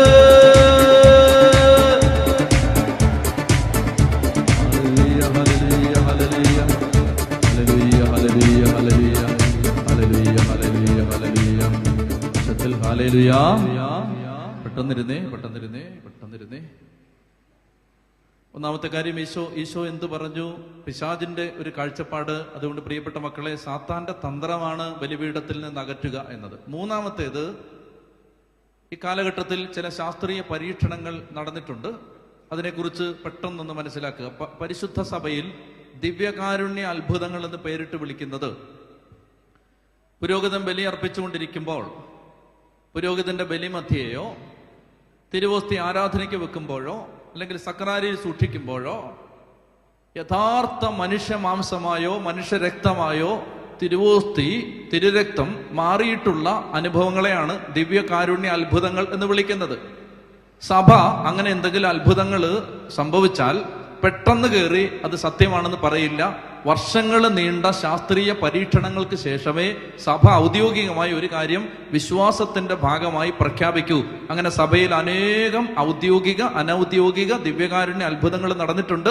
സഭ ശരിക്കും സത്യമാണെന്ന് പ്രഖ്യാപിച്ചിട്ടുള്ളതുണ്ട് അല്ലാത്തതുമുണ്ട്. ദിവ്യകാരുണ്യ അത്ഭുതങ്ങളിൽ സഭ ഔദ്യോഗികമായി പ്രഖ്യാപിച്ചിട്ടുള്ള ഒരു ദിവ്യകാരുണ്യ അത്ഭുതം ഏറ്റവും എളുപ്പത്തിൽ പറയാൻ പറ്റുന്ന ഒന്ന് എളുപ്പത്തിൽ മനസ്സിലാക്കാൻ പറ്റുന്ന ഒന്ന് അർജന്റീനയിലെ ബിവനസ് ഐറിസ് എന്ന രൂപതയിൽ ഇപ്പോഴത്തെ ഫ്രാൻസിസ് മാർപ്പാപ്പ ജോർജ് ബർഗോഗ്ലിയോ എന്ന പേരിൽ മെത്രാനായിട്ട് ആ രൂപത ഭരിക്കുന്ന കാലത്ത് അദ്ദേഹത്തിന്റെ രൂപതയിലെ ഒരു അച്ഛൻ ബലിയർപ്പിച്ചിട്ട് പുറത്തേക്ക് ഇറങ്ങുമ്പോൾ ഒരു വീട്ടമ്മ ഓടി വന്ന് അച്ഛനോട് സങ്കടത്തോട് പറഞ്ഞു ആരോ തിരുവോസ്തി മണ്ണിൽ അലക്ഷ്യമായിട്ട് ഉപേക്ഷിച്ചിട്ട് പോയിരിക്കുന്നു. അച്ഛൻ ഓടി വന്ന് മുട്ടുകുത്തി തിരുവോസ്തി എടുത്തു കൊണ്ടുപോയി. വിശുദ്ധ ജലം ഒരു പാത്രത്തിലെടുത്ത് അതിനകത്ത് ഈ വിശുദ്ധ കുർബാനയിലെ മണ്ണും ചെളിയും പോകാൻ വേണ്ടി വിശുദ്ധ ഈ പാത്രത്തിൽ വിശുദ്ധ ജലം എടുത്ത് അതിനകത്ത് തിരുവോസ്തി നിക്ഷേപിച്ച് സക്രാരിയിൽ വെച്ചു. ഒന്ന് രണ്ടാഴ്ച കഴിഞ്ഞ് അച്ഛൻ വന്ന് പരിശോധിക്കുമ്പോൾ അച്ഛൻ സക്രാരി തുറന്ന് പരിശോധിക്കുമ്പോൾ ആ തിരുവോസ്തിയിൽ ഒരു ചോരത്തടിപ്പ് പോലെ കാണപ്പെട്ടു. അദ്ദേഹം പെട്ടെന്ന് മെത്രാനെ വിവരം അറിയിച്ചു അവിടുന്ന് വന്ന് പരിശോധിച്ചപ്പോൾ എന്തോ ഒരു അസ്വാഭാവികത തോന്നിയതുകൊണ്ട് ഇതിന്റെ ഫോട്ടോഗ്രാഫ്സ് എടുത്തു വെക്കാൻ നിർദ്ദേശിച്ചിട്ട് അത് അതുപോലെ തന്നെ സക്രാരിയെ സൂക്ഷിക്കാൻ ആവശ്യപ്പെട്ടു. ഫോട്ടോസ് എടുത്തു വെച്ചു എന്നിട്ട് സക്രാരിയെ സൂക്ഷിച്ചു വെച്ചു. ഏതാനും നാളുകൾ കഴിഞ്ഞപ്പോൾ അച്ഛൻ ഇത് വീണ്ടും എടുത്ത് പരിശോധിക്കുമ്പോൾ ഈ തിരുവോസ്തി ഡിസോൾവ് ചെയ്ത് പോയിട്ടില്ല മറിച്ച് അതിന്റെ വലിപ്പം വർദ്ധിച്ചിരിക്കുന്നു അതൊരു മാംസക്കട്ട പോലെ തോന്നുന്നു. പെട്ടെന്ന് അച്ഛൻ രൂപതയെ വിവരം അറിയിച്ചു. അപ്പോഴേക്കും ഇത് ശാസ്ത്രീയമായി പരിശോധിക്കാനായിട്ട് ആവശ്യപ്പെട്ടു. ഈ പേര് ഓർത്തുകൊള്ളുക ഈ ഈ രാത്രിയിൽ ഞാൻ പറയുന്ന എന്തെങ്കിലും കാര്യങ്ങൾ വിശ്വസിക്കാൻ ബുദ്ധിമുട്ട് വരുന്നെങ്കിൽ പരിശോധിക്കാൻ വേണ്ടി ഈ പേരുകളൊന്ന് ഓർത്തിരിക്കുക. Ricardo Castanon. R I C A R D O. C A S T A N O N. Ricardo Castanon എന്ന നിരീശ്വരവാദിയായ ഒരു ഡോക്ടർ ഒരു ശാസ്ത്രജ്ഞൻ അദ്ദേഹത്തെ വിളിച്ചു വരുത്തി അദ്ദേഹത്തോട് ഈ മാംസത്തുണ്ടിൽ നിന്ന് ഒരു ഭാഗം മുറിച്ചെടുത്ത് അദ്ദേഹത്തിന്റെ കയ്യിൽ കൊടുത്ത് പരിശോധനയ്ക്ക് അയച്ചു. പരിശോധന കഴിഞ്ഞ് നിരീശ്വരവാദിയായി ശാസ്ത്രജ്ഞൻ അത്ഭുതാതരങ്ങളോടെയാണ് അദ്ദേഹം മടങ്ങിയെത്തുന്നത്. അദ്ദേഹത്തിന് വിശ്വസിക്കാൻ പറ്റുന്നില്ല. ഇത് മനുഷ്യന്റെ മനുഷ്യ ശരീരത്തിന്റെ ഭാഗമാണ് എന്ന് അദ്ദേഹം തിരിച്ചറിയുകയാണ്. എന്നിട്ട് അദ്ദേഹത്തിന്റെ നിർദ്ദേശപ്രകാരം ഓസ്ട്രിയയിൽ നിന്നുള്ള രണ്ട് പത്രപ്രവർത്തകർ അതിന് അവർ ഇതിനെക്കുറിച്ച് പുസ്തകം എഴുതിയിട്ടുണ്ട്. ഓസ്ട്രിയയിൽ നിന്നുള്ള രണ്ട് ജേർണലിസ്റ്റുകൾ സഭ നിയോഗിച്ച അന്വേഷണ കമ്മീഷനിലെ ആളുകൾ അതുപോലെ റിക്കാർഡോ കാസ്റ്റനൻ എന്നിവർ ചേർന്ന് അമേരിക്കയിലെ ഏറ്റവും പ്രശസ്തനായ cardiac സർജനായിരുന്ന Ferdinand Zugibe Z U G W B O Ferdinand Zugibe എന്ന പേരുള്ള ലോക പ്രശസ്തനായ ഒരു കാർഡിയാക് സർജൻ സയന്റിസ്റ്റ് അന്ന് ജീവിച്ചിരിക്കുന്നവരിൽ ഏറ്റവും അറിയപ്പെടുന്ന ആൾ അദ്ദേഹത്തിന്റെ ഒരു പ്രത്യേകത. അദ്ദേഹത്തിന്റെ കയ്യിൽ മനുഷ്യ ശരീരത്തിലെ ഏതെങ്കിലും ഒരു ഭാഗം കൊടുത്താൽ മരിച്ച ഒരു മനുഷ്യന്റെ ശരീരത്തിലെ ശവശരീരത്തിലെ ഏതെങ്കിലും ഒരു ഭാഗം അദ്ദേഹത്തിന് കൊടുത്താൽ അദ്ദേഹം പറയും ഈ മനുഷ്യൻ എങ്ങനെയാണ് കൊല്ലപ്പെട്ടത്? എങ്ങനെയാണ് മരിച്ചത്? എന്ന് പറയാൻ അക്കഡമിക് ജ്ഞാനമുള്ള ഫെർഡിനാൻഡ് സുഗീബോ എന്ന അമേരിക്കക്കാരൻ ശാസ്ത്രജ്ഞന്റെ അടുത്ത് ഈ മുറിച്ചെടുത്ത തിരുവോസ്തിയുടെ മാംസക്കട്ടയായി മാറിയ തിരുവോസ്തിയുടെ ഒരു ഭാഗവും കൊണ്ട് അവർ പറഞ്ഞു അവിടെ ചെന്നിട്ട് അദ്ദേഹത്തെ ഇത് ഏൽപ്പിക്കുമ്പോൾ അവർ അദ്ദേഹത്തോട് പറഞ്ഞില്ല ഇത് ദിവ്യകാരുണ്യ അത്ഭുതമാണ് അതൊന്നും പറഞ്ഞില്ല. അവർ പറഞ്ഞു ഇത്രയേ ഉള്ളൂ ഈ മറ്റീരിയൽ ഞങ്ങൾ ഈ കൊണ്ടുവന്നിരിക്കുന്നത് എന്താണ്? സയന്റിഫിക് ആയിട്ട് ഇത് എന്താണ്? ഇത് ഈ ഈ മാംസക്കട്ട എന്താണ്? പ്രിയപ്പെട്ട സഹോദരങ്ങളെ അദ്ദേഹം പരിശോധിച്ചിട്ട് അദ്ദേഹത്തിന്റെ പരിശോധനയുടെ ഫലം ഒരു ചോദ്യമാണ്. ആ ചോദ്യം ഇതാണ് നിങ്ങൾ എങ്ങനെയാണ് മരണവേദന അനുഭവിച്ച് കൊല്ലപ്പെട്ട ഒരു പുരുഷന്റെ ഹൃദയഭിത്തിയിലെ ലെഫ്റ്റ് വെൻട്രിക്കിളിലെ ടിഷ്യൂസ് മുറിച്ച് പരിശോധിക്കാൻ കൊണ്ടുവന്നത്? എങ്ങനെയാണ് നിങ്ങൾ മരണവേദന അനുഭവിച്ച് കൊല്ലപ്പെട്ട ഒരു പുരുഷന്റെ ഹൃദയഭിത്തിയിലെ മാംസം നിങ്ങൾ എങ്ങനെയാണ് മുറിച്ച് പരിശോധനയ്ക്ക് കൊണ്ടുവന്നത്? എന്നിട്ട് അദ്ദേഹം പറയുകയാണ് അത് കൊണ്ടുവരുമ്പോൾ ഇവിടെ എത്തിക്കുമ്പോൾ അതിൽ ജീവൻ ഉണ്ടായിരുന്നു സാധാരണഗതിയിൽ മനുഷ്യ ശരീരത്തിന് വെളിയിൽ ജീവരക്താണുക്കൾ നിലനിൽക്കില്ല പക്ഷെ അതിൽ ജീവൻ ഉണ്ടായിരുന്നു അതിൽ ജീവരക്താണുക്കളുടെ സാന്നിധ്യം ഉണ്ടായിരുന്നു. പ്രിയപ്പെട്ട സഹോദരങ്ങളെ ഞാൻ ചുരുക്കി പറയാം. ഫെർഡിനാൻഡ് സുഗീബോ റിക്കാർഡോ കാസ്റ്റനൻ തുടങ്ങിയ നിരീശ്വരവാദികളായ ശാസ്ത്രജ്ഞന്മാരെ സഭാവിശ്വാസത്തിലേക്ക് കൂട്ടിക്കൊണ്ടുവന്ന ദിവ്യകാരുണ്യ അത്ഭുതമാണിത്. വെറുതെ ഗൂഗിൾ ചെയ്ത് നോക്കിക്കോ ഈ പേരൊക്കെ? പ്രിയപ്പെട്ട സഹോദരങ്ങളെ അതായത് ഇത്രേ ഉള്ളൂ. നമ്മൾ നിരനിരയായി വന്ന് നാവ് നീട്ടി സ്വീകരിച്ചു കൊണ്ടിരിക്കുന്ന യാതൊരു ബോധവുമില്ലാതെ അറിവില്ലാതെ വെളിച്ചവും വെളിപാടുമില്ലാതെ നാം സ്വീകരിച്ചുകൊണ്ടിരിക്കുന്ന നാവ് നീട്ടി സ്വീകരിക്കുന്ന ഒരു കാറ്റിൽ പറഞ്ഞു പറന്നു പോകാൻ സാധ്യതയുള്ള ഈ നേർത്ത അപ്പം മരണവേദന അനുഭവിച്ച് കൊല്ലപ്പെട്ട യേശുവിന്റെ ഹൃദയമാണ് യേശുവിന്റെ ചോരയാണ്. ലോകത്ത് എവിടെല്ലാം ദിവ്യകാരുണ്യ അത്ഭുതങ്ങൾ നടന്നോ അവിടെ ബ്ലഡ് സാമ്പിൾ പരിശോധിച്ചെടുത്തെല്ലാം ഒരു ഗ്രൂപ്പാണ് എ ബി പോസിറ്റീവ്. എല്ലായിടത്തും ഒരു ഗ്രൂപ്പ് യേശുവിന്റെ മരണവേദന അനുഭവിച്ച് കൊല്ലപ്പെട്ട യേശുവിന്റെ ചങ്ക് യേശുവിന്റെ ചോര. ചുത്തി പറഞ്ഞേ ഹാലേലുയാ! ഹാലേലുയാ! എന്റെ പ്രിയപ്പെട്ട സഹോദരങ്ങളെ നിങ്ങൾ വിശ്വസിച്ചാലും ഇല്ലെങ്കിലും ഇത് കർത്താവിന്റെ ശരീരമാണ് കർത്താവിന്റെ രക്തമാണ്. അങ്ങനെയാണെങ്കിൽ ഇനി നമ്മൾ ചില ചോദ്യങ്ങൾ ചോദിക്കേണ്ടി വരും. ഇത് യഥാർത്ഥത്തിൽ യേശുവിന്റെ ശരീരമാണ്. യഥാർത്ഥത്തിൽ യേശുവിന്റെ രക്തമാണെങ്കിൽ നമ്മൾ ഈ വിഷയത്തെ കൈകാര്യം ചെയ്ത രീതികളോട് നമ്മൾ സ്വയം ആത്മവിമർശന സംബന്ധമായ ചില ചോദ്യങ്ങൾ ചോദിക്കേണ്ടി വരും. ഇനി എന്റെ പ്രിയപ്പെട്ട സഹോദരങ്ങളെ നിങ്ങൾ ഗൗരവമായിട്ട് ചില കാര്യങ്ങൾ ശ്രദ്ധിക്കണം. വിശുദ്ധ കുർബാന യേശുവിന്റെ ശരീരമാണ് യേശുവിന്റെ രക്തമാണ്. യേശുവിന്റെ പച്ച ജീവൻ. യേശുവിന്റെ ശരീരം യേശുവിന്റെ രക്തം അവൻ നമുക്ക് ഓരോ ദിവസവും ബലിപീഠത്തിൽ നിന്ന് വെച്ച് വിളമ്പി തരികയാണ്. പക്ഷെ നമുക്കതിനോട് താല്പര്യമില്ല. നമുക്ക് ആ വിഷയത്തോട് മമതയില്ല. നമുക്ക് വിശുദ്ധ കുർബാനയോട് സ്നേഹമില്ല. പ്രിയപ്പെട്ട സഹോദരങ്ങളെ ചില കാര്യങ്ങൾ നിങ്ങൾ ശ്രദ്ധിക്കുക. അതായത് എന്തുകൊണ്ട് വിശുദ്ധ കുർബാനയ്ക്ക് വില കൊടുക്കണം എന്നതിന് ഞാൻ ചില ന്യായങ്ങൾ പറയാം. നിങ്ങൾ ഇങ്ങനെ ഒരു ഒരു തർക്കത്തിന് ഇങ്ങനെ ഒരു ഉദാഹരണം. ഒരാൾ എന്റെ അടുത്ത് എന്റെ ഒരു ആത്മസ്നേഹിതൻ എന്റെ അടുത്ത് വന്ന് എന്നോട് ചോദിക്കുകയാണ് അച്ഛാ എനിക്കൊരു നൂറ് രൂപ തരാമോ? ഞാൻ പറഞ്ഞു അഞ്ഞൂറ് രൂപ കൊണ്ടുവെക്കൂ. കാരണം നിനക്ക് പണത്തിന് ആവശ്യമുണ്ട് നീ എന്റെ സ്നേഹിതനാണ് എന്റെ കയ്യിൽ അയ്യായിരം രൂപയുണ്ട് ഞാൻ നിനക്ക് അഞ്ഞൂറ് രൂപ തരാം. അപ്പൊ അയാൾ പറഞ്ഞു വേണ്ട അഞ്ഞൂറ് വേണ്ട. പിന്നെ നൂറ് മതി. ഞാൻ പറഞ്ഞു അത്യാവശ്യമില്ലേ? അത്യാവശ്യമൊന്നുമില്ല ചാ അച്ഛന്റെ അച്ഛന്റെ ഒരു ഓർമ്മയ്ക്ക് അച്ഛന്റെ ഒരു നൂറ് രൂപ താ. നല്ല കാര്യമല്ലേ? നൂറ് രൂപ ഞാൻ കൊടുത്തു. അവനിങ്ങനെ നിൽക്കുമ്പോൾ അതെ എനിക്ക് ഈ ഭൂമിയിൽ ഏറ്റവും വേണ്ടപ്പെട്ട ഒരാൾ. ഇയാൾ ചോദിച്ചാൽ ഞാൻ കഴുത്ത് തന്നെ കൊടുക്കും. അങ്ങനെ ഒരാൾ അടുത്ത് വന്നിട്ട് എന്നോട് പറയുകയാണ് അച്ഛാ എനിക്ക് നൂറല്ല വേണ്ടത്. ഞാൻ ചോദിച്ചു നിനക്ക് അയ്യായിരം വേണോ? അപ്പൊ എന്നോട് പറഞ്ഞു അയ്യായിരം അല്ല അച്ഛ വേണ്ടത്. എനിക്ക് അച്ഛന്റെ വലത്ത് കൈപ്പത്തി മുറിച്ചു തായോ? നീ തമാശ പറയാണോ? അല്ല അച്ഛന്റെ വലത്ത് എന്തിന്? എനിക്ക് അച്ഛ അച്ഛന്റെ കൈപ്പത്തി എനിക്ക് എന്റെ വീട്ടിൽ ഓർമ്മയ്ക്കായിട്ട് സൂക്ഷിച്ചു വെക്കാൻ. ഇങ്ങനെയുള്ള ഭ്രാന്തന്മാരായ കൂട്ടുകാരുണ്ടായാൽ നിങ്ങൾക്ക് കൈയും കാലും നഷ്ടപ്പെടും. ഇത് ഉദാഹരണമാണ് ഉദാഹരണം.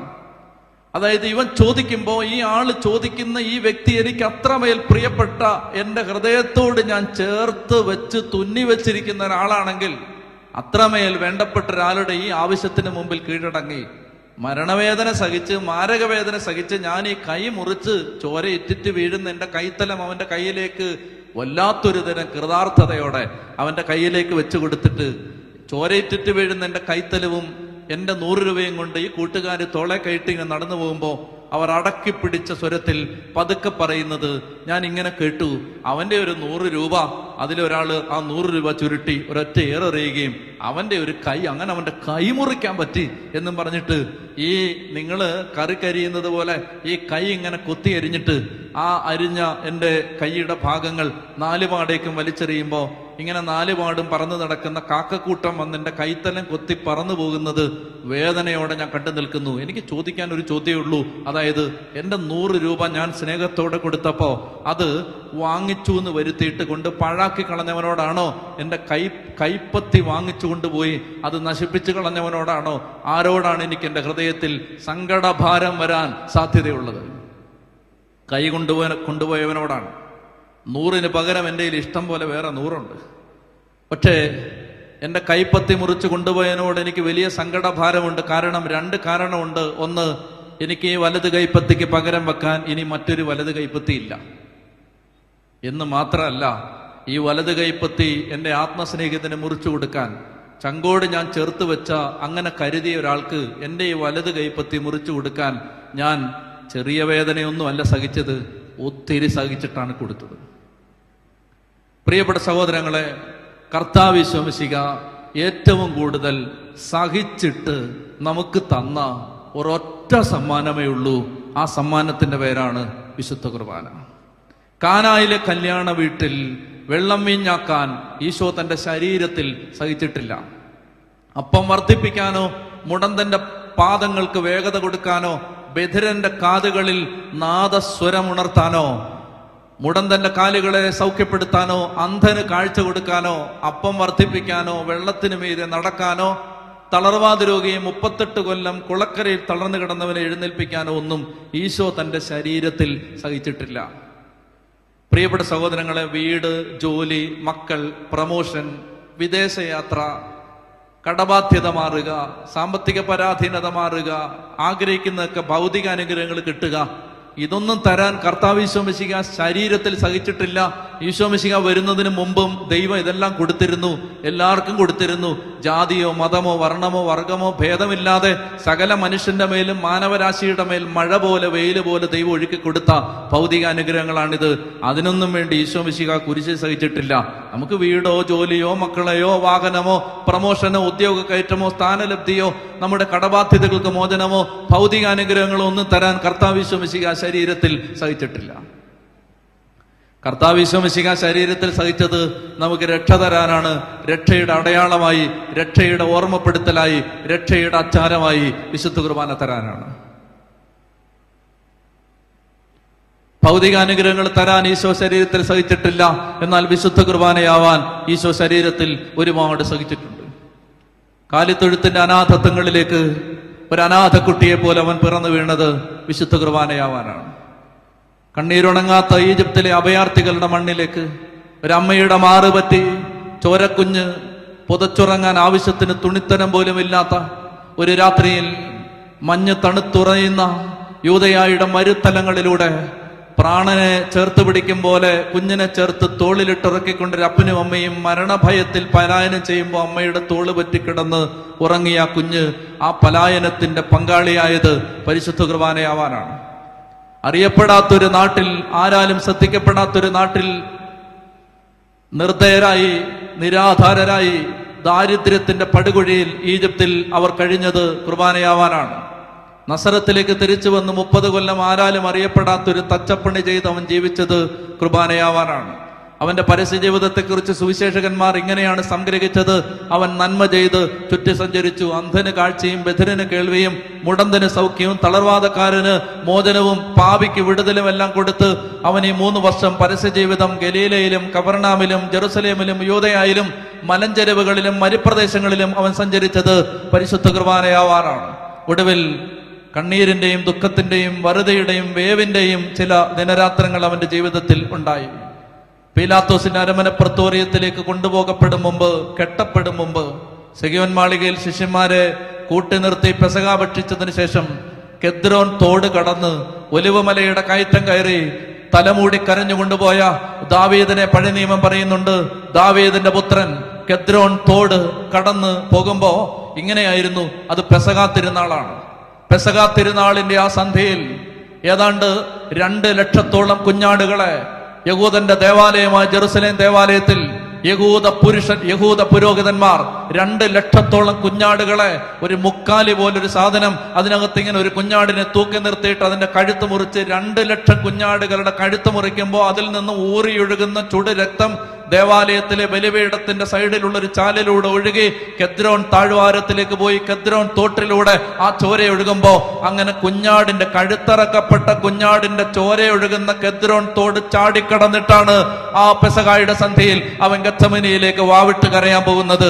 അങ്ങനെ കെദ്രോൺ തോട് കടന്ന് മുകളിലേക്ക് കയറി നടക്കുമ്പോ ഈശോ കണ്ടു കുഞ്ഞാടിന്റെ ഊറി ഒഴുകുന്ന ചോര ചങ്കിനകത്ത് അവൻ ഒരായിരം തവണ പറഞ്ഞു നാളെ ദുഃഖവള്ളി നാളെ നട്ടുച്ചയ്ക്ക് ഈ കുഞ്ഞാടിന്റെ രക്തം പോലെ കാൽവരിയുടെ നെറുകയിൽ നിന്ന് എന്റെ ചുടുചോര ഒഴുകുമെന്ന് നൂറ് നൂറ്റൊന്ന് വട്ടം നിശ്ചയവും ബോധ്യവും വ്യക്തതയുമുള്ള ഒരു ചെറുപ്പക്കാരൻ ഈ തോട് മുറിച്ചു കിടന്ന് ഗത്തമൻ തോട്ടത്തിലെത്തിയിട്ട് കണ്ണുനീരും പാനപാത്രങ്ങളും സങ്കടവും പെയ്തിറങ്ങിയ സന്ധ്യയിൽ ഒലിവുമരത്തിന്റെ ചുവട്ടിൽ കൈമുട്ടുകൾ കുത്തിയിരുന്ന് പാനപാത്രങ്ങളുടെ പരമവേദന ചങ്കിനകത്ത് നിറഞ്ഞു പെയ്യുന്ന ആ സന്ധ്യാനേരത്ത് അവനിങ്ങനെ കൈമുട്ട് കുത്തിയിരുന്ന് അവനിങ്ങനെ ഏങ്ങിക്കരഞ്ഞു അപ്പാ അപ്പാ കഴിയുമെങ്കിൽ ഈ പാനപാത്രം അകന്നു പോകണമേ അകന്നു പോകണമേ എന്ന് മൂന്നാവർത്തി ഏറ്റു പറഞ്ഞിട്ട് ആരെങ്കിലും ഒന്ന് കൂടെയുണ്ടാകുമോ എന്ന് കരുതി കൂടെയുണ്ടാകാൻ കൂടെ കൊണ്ടുപോയവരെ അടുത്തേക്ക് ചെന്ന് നോക്കുന്ന നേരത്ത് അവർ തളർന്നുറങ്ങുന്നത് കണ്ടിട്ട് ഒരു മണിക്കൂർ എന്റെ ഒപ്പം ഉണർന്നിരിക്കാൻ നിങ്ങൾക്ക് പറ്റില്ലേ? എന്ന് ചോദിച്ചുകൊണ്ട്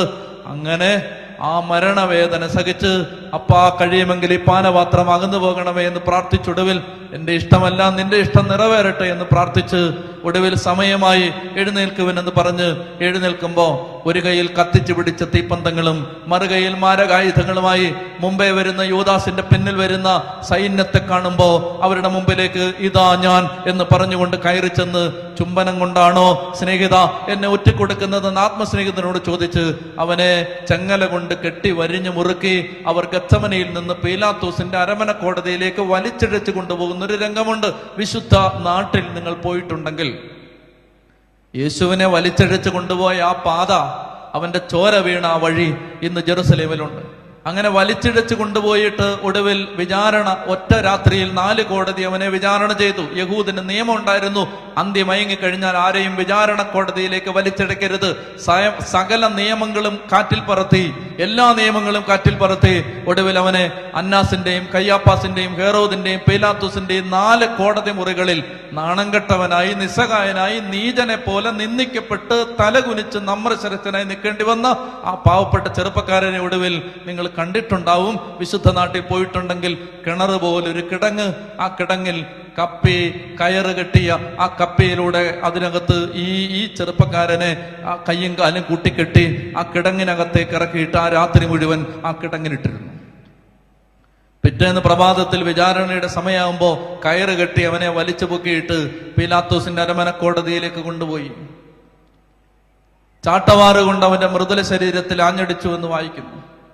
ചാട്ട കാരിരമ്പാണികളും ഈയക്കട്ടകളും ഇരുമ്പിൻ കഷണങ്ങളും ആണികളുമൊക്കെ ചേർത്തുണ്ടാക്കിയ മാരകായുധമായിരുന്നു ചാട്ട.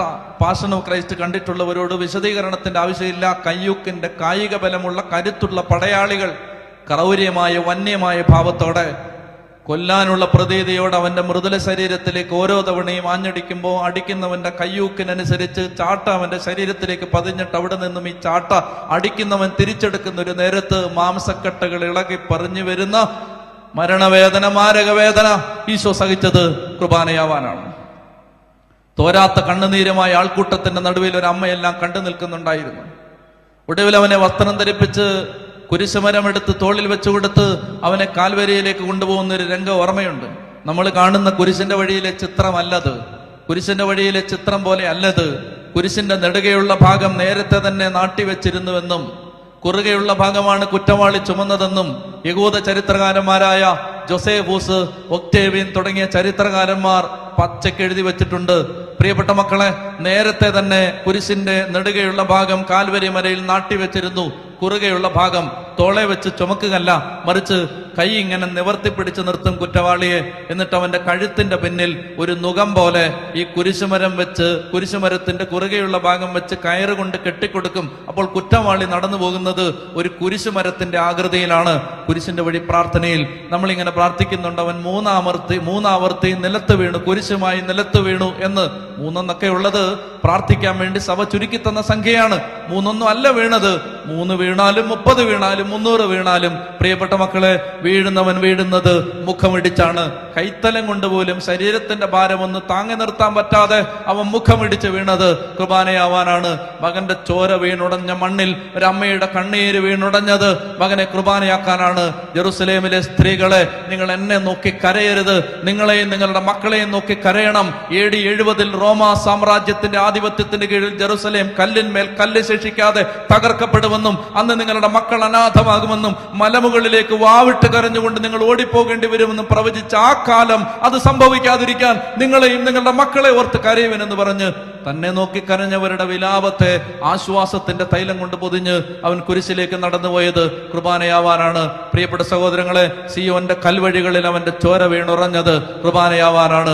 ഒടുവിൽ മലമുകളിലേക്ക് കൊണ്ടുപോയി കാൽവരിയുടെ മുകളിൽ കൊണ്ടുപോയിട്ട് അവന്റെ വസ്ത്രങ്ങൾ ഒന്നൊന്നായി ഉരിഞ്ഞെടുക്കുമ്പോൾ ശരീരത്തോട് ചേർന്ന് മാംസക്കെട്ടകൾ ഇളകി പറഞ്ഞു വന്നത് ആ വേദന അവൻ സഹിച്ചത് കുർബാനയാവാനാണ്. ഒടുവിൽ നഗ്നനാക്കി അവനെ കുരിശിൽ കിടത്തിയിട്ട് നാലോ അഞ്ചോ ഇഞ്ച് നീളമുള്ള കാര്യരമ്പിന്റെ ആണി അവന്റെ കൈത്തണ്ടയിലേക്ക് അടിച്ചു കയറ്റുമ്പോ ഓരോ അടിക്കും ചോര ചാലുകീറി ഒഴുകുന്ന മാരക വേദന അവൻ സഹിച്ചത് കുർബാനയാവാനാണ്. പ്രിയപ്പെട്ട സഹോദരങ്ങളെ അതിനുശേഷം അവനെ കുരിശിൽ ഉയർത്തിക്കിടത്തുമ്പോൾ നഗ്നനായിട്ടാണ് ഈശോ കുരിശിൽ മരിച്ചത്. പരിപൂർണ നഗ്നൻ.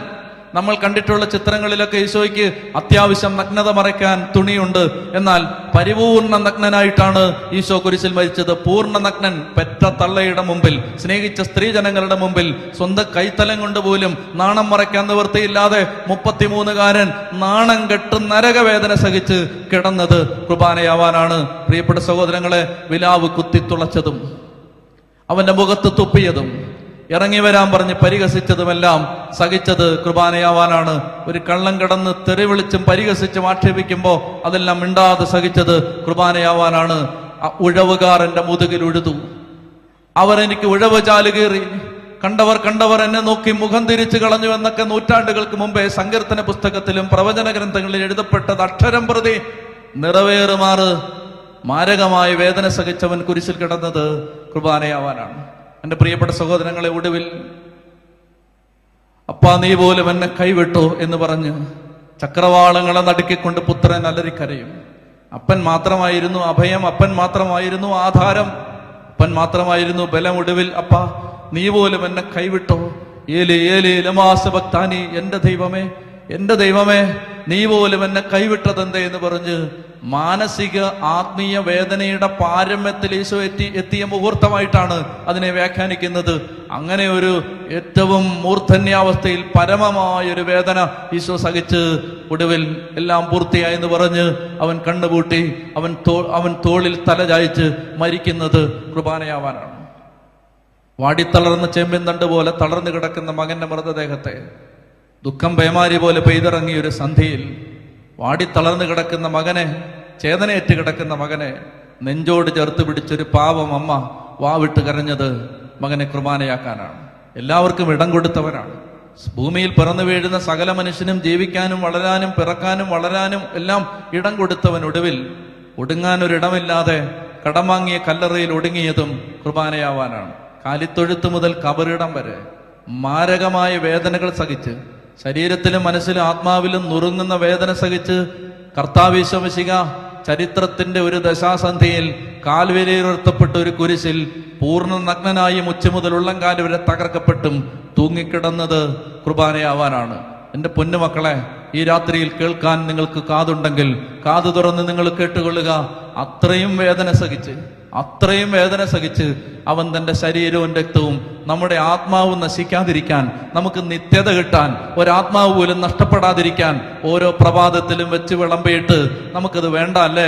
നമുക്ക് ജോലി മതി മക്കളെ മതി വീട് മതി വാഹനം മതി പ്രമോഷൻ മതി ഐ എൽ ടി എസ് പാസ്സായ മതി നമുക്ക് വിശുദ്ധ കുർബാന വേണ്ട നമുക്ക് നൊവേന മതി. ചത്തി പറഞ്ഞേ ഹാലേലുയാ. ഇത് മാരക പാപമല്ലേ ഇത് മാരക പാപമല്ലേ മരണവേദന സഹിച്ച് ഒരു ദൈവം ഇത്രയും വിലപ്പെട്ട ഒരു സമ്മാനം തന്നിട്ട് ആ സമ്മാനം വേണ്ട നമുക്ക് ഭൗതിക അനുഗ്രഹങ്ങൾ മതി.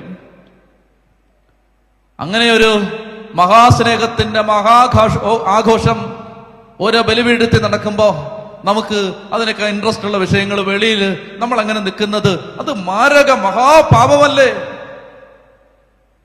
പ്രിയപ്പെട്ട മക്കളെ ശ്രദ്ധിച്ച് കേൾക്കുക. ഇത്രയും വേദന സഹിച്ച് ഈശോ തന്ന ഈ സമ്മാനമായ വിശുദ്ധ കുർബാനയെ നിഷേധിക്കുന്നത് abusing the gift.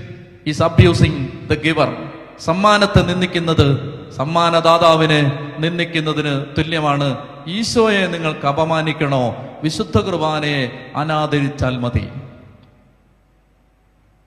ഇതാണ് സാത്താന്റെ തന്ത്രം. ഇതാണ് സാത്താൻ സേവക്കാരുടെ തന്ത്രം.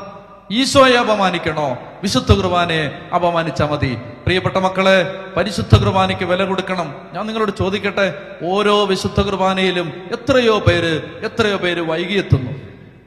എത്രയോ പേര് അതിനിടയ്ക്ക് ഫോൺ എടുത്ത് ഓടിപ്പോകുന്നു. എത്രയോ പേര് അലസമായി നിൽക്കുന്നു. എത്രയോ പേര് അലക്ഷ്യമായി പെരുമാറുന്നു. ഞാൻ നിങ്ങളോട് ചോദിക്കട്ടെ കല്യാണത്തിന് നിങ്ങൾ സമയത്തിന് പോയില്ലേ? ഇന്റർവ്യൂവിന് നിങ്ങൾ സമയത്തിന് പോയില്ലേ? ജോലിക്ക് നിങ്ങൾ സമയത്തിന് പോയില്ലേ? മക്കളെ പരീക്ഷയ്ക്ക് നിങ്ങൾ സമയത്തിന് വിട്ടില്ലേ? മക്കളെ ട്യൂഷന് നിങ്ങൾ സമയത്തിന് വിട്ടില്ലേ? ഒരു ഹോസ്പിറ്റൽ അപ്പോയിന്റ്മെന്റ് ഉണ്ടെങ്കിൽ നിങ്ങൾ കൃത്യസമയത്ത് ചെല്ലില്ലേ? പക്ഷേ ആകെക്കൂടി വിശ്വാസി ക്രിസ്ത്യാനി നീ താമസിക്കുന്നത് ദേവാലയത്തിലാണെങ്കിൽ ദൈവാരാധനയ്ക്കാണെങ്കിൽ അതിനൊരൊറ്റ അർത്ഥമേ ഉള്ളൂ രണ്ടർത്ഥമില്ല. ഒറ്റ അർത്ഥമേ ഉള്ളൂ. നിന്റെ ദൈവത്തിന് നീയും നിന്റെ കുടുംബം ഇട്ട വില വെറും ഏഴാം കൂലിയുടെ വില. ഒരു ഇന്റർവ്യൂവിന്റെ ഒരു ജോലിയുടെ ഒരു ഒരു ഒരു ആശുപത്രി കേസിന്റെ ഒരു രോഗത്തിന്റെ അല്ലെങ്കിൽ വീട്ടിലെ ഒരു കാര്യത്തിന്റെ അത്രയും വലിപ്പം പോലും കർത്താവ് കാൽവരി കുരിശിൽ അർപ്പിച്ച പരമയാഗത്തിന് കൊടുത്തിട്ടില്ലെന്നേ അതിനർത്ഥമുള്ളൂ. നിങ്ങളൊരു പോലീസ് ഇൻസ്പെക്ടറുടെ മുമ്പിൽ നിൽക്കുമ്പോൾ നിങ്ങളൊരു മന്ത്രിയെ കാണാൻ നിൽക്കുമ്പോൾ മുഖ്യമന്ത്രിയുടെ ഓഫീസിൽ നിങ്ങൾ നിൽക്കുമ്പോൾ നിങ്ങൾ മുഖ്യമന്ത്രിയുടെ ബഹുമാനപ്പെട്ട മുഖ്യമന്ത്രിയുടെ മുമ്പിൽ നിങ്ങൾ ഇരിക്കുമ്പോൾ നിങ്ങൾക്ക് ഫോൺ വന്നാൽ നിങ്ങൾ എടുക്കുമോ? നിങ്ങൾ ഒരു ഐ ജിയുടെ മുമ്പിൽ ഇരിക്കുമ്പോൾ ഡി ജി പിയുടെ മുമ്പിൽ ഇരിക്കുമ്പോൾ നിങ്ങൾക്ക് ഫോൺ വന്നാൽ നിങ്ങൾ എടുക്കുമോ? പ്രധാനപ്പെട്ട ഒരു മേലുദ്യോഗസ്ഥന്റെ മുമ്പിൽ നിങ്ങൾ ഇരിക്കുമ്പോൾ നിങ്ങൾക്ക് ഫോൺ വന്നാൽ നിങ്ങൾ അത് പരിശോധിക്കുമോ? എന്നാൽ ദേവാലയത്തിൽ പരമമായൊരു ദൈവാരാധന നടക്കുന്നതിനിടക്ക് ഫോണുമായിട്ട് ഇറങ്ങി ഓടാൻ നിങ്ങൾക്ക് മനസാക്ഷി കുത്തില്ലെങ്കിൽ അതിനൊറ്റ അർത്ഥമേ ഉള്ളൂ. നിങ്ങളുടെ ദൈവം വെറും വെറും ഏഴാം കൂലിയാണ് എന്നേ അതിനർത്ഥമുള്ളൂ. പള്ളിയിൽ താമസിച്ചു വരുന്നതും പള്ളിയിൽ അലക്ഷ്യമായിട്ട് നിൽക്കുന്നതും ദൈവാരാധനയിൽ അലക്ഷ്യമായി സംബന്ധിക്കുന്നതിനുമെല്ലാം അതിനപ്പുറത്ത് വേറൊരു അർത്ഥമില്ല എന്റെ പ്രിയപ്പെട്ട മക്കളെ. കർത്താവ് പറഞ്ഞു ഞാൻ രാജാവാണ് എനിക്കാരുടെയും എച്ചിൽ വേണ്ട. ഞാൻ രാജാവാണ് എനിക്കാരുടെ എച്ചിൽ വേണ്ട. കൊടുക്കുന്നെങ്കിൽ ഒന്നാം സ്ഥാനം അല്ലെങ്കിൽ കൊടുക്കണ്ട. കൊടുക്കുന്നെങ്കിൽ ഒന്നാം സ്ഥാനം അല്ലെങ്കിൽ ദൈവത്തിന് നമ്മൾ വില കൊടുക്കണ്ട. ചെത്തി പറഞ്ഞേ ഹാലേലുയാ ഹാലേലുയാ. എന്റെ പ്രിയപ്പെട്ട മക്കളെ ഓരോ പരിശുദ്ധ കുർബാനയിലും കർത്താവ് ശമിശിക ഇറങ്ങി വന്ന് ഇടപെടും. അഭിഷേകത്തിന്റെ കരം കർത്താവായിരിക്കും. ശക്തമായ വിടുതൽ കർത്താവായിരിക്കും. വൈദികനാവാനായിട്ട് പരിശീലനം നേടിക്കൊണ്ടിരുന്ന ഒരു അച്ഛൻ മനീഷ് അച്ഛൻ വൈദിക പരിശീലനം നേടിക്കൊണ്ടിരിക്കുന്ന സമയത്ത് അദ്ദേഹത്തിന് അദ്ദേഹത്തിന്റെ അമ്മ ഒരു ദിവസം സുഖമില്ലാതായി. അമ്മച്ചയും കൊണ്ട് കോഴിക്കോട് നിംസ് ഹോസ്പിറ്റലിൽ ചെന്നു. അവിടെ ചെന്നപ്പോൾ ഡോക്ടേഴ്സ് പരിശോധിച്ചിട്ട് പറഞ്ഞു അമ്മച്ചിക്ക് തലച്ചോറിൽ പഴകിപ്പോയ ട്യൂമറാന്ന് പറഞ്ഞു.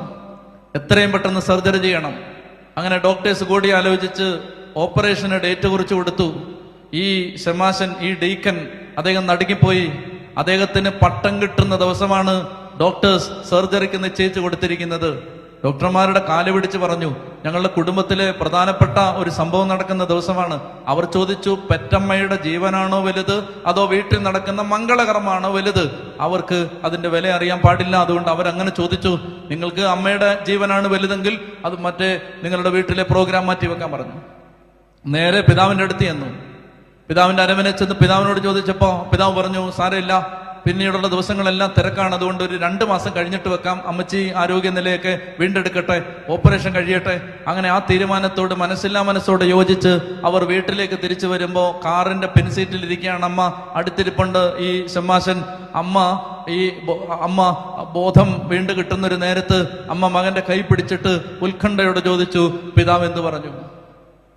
അപ്പം മകൻ പറഞ്ഞു അമ്മ രണ്ട് മാസം കഴിഞ്ഞിട്ട് പൗരോഹിത്യ പട്ടം സ്വീകരിക്കാമെന്ന് പറഞ്ഞു. വാവിട്ട് കരഞ്ഞു അമ്മ. എന്നിട്ട് പറഞ്ഞു മോനെ ഒരു വ്യാഴവട്ടക്കാലം. ഉരുകെത്തിയിരുന്ന മെഴുക പോലെ അമ്മ കത്തി നിന്നത് മകൻ അൾത്താരെ കാണാനുള്ള ആഗ്രഹം കൊണ്ടാണ്.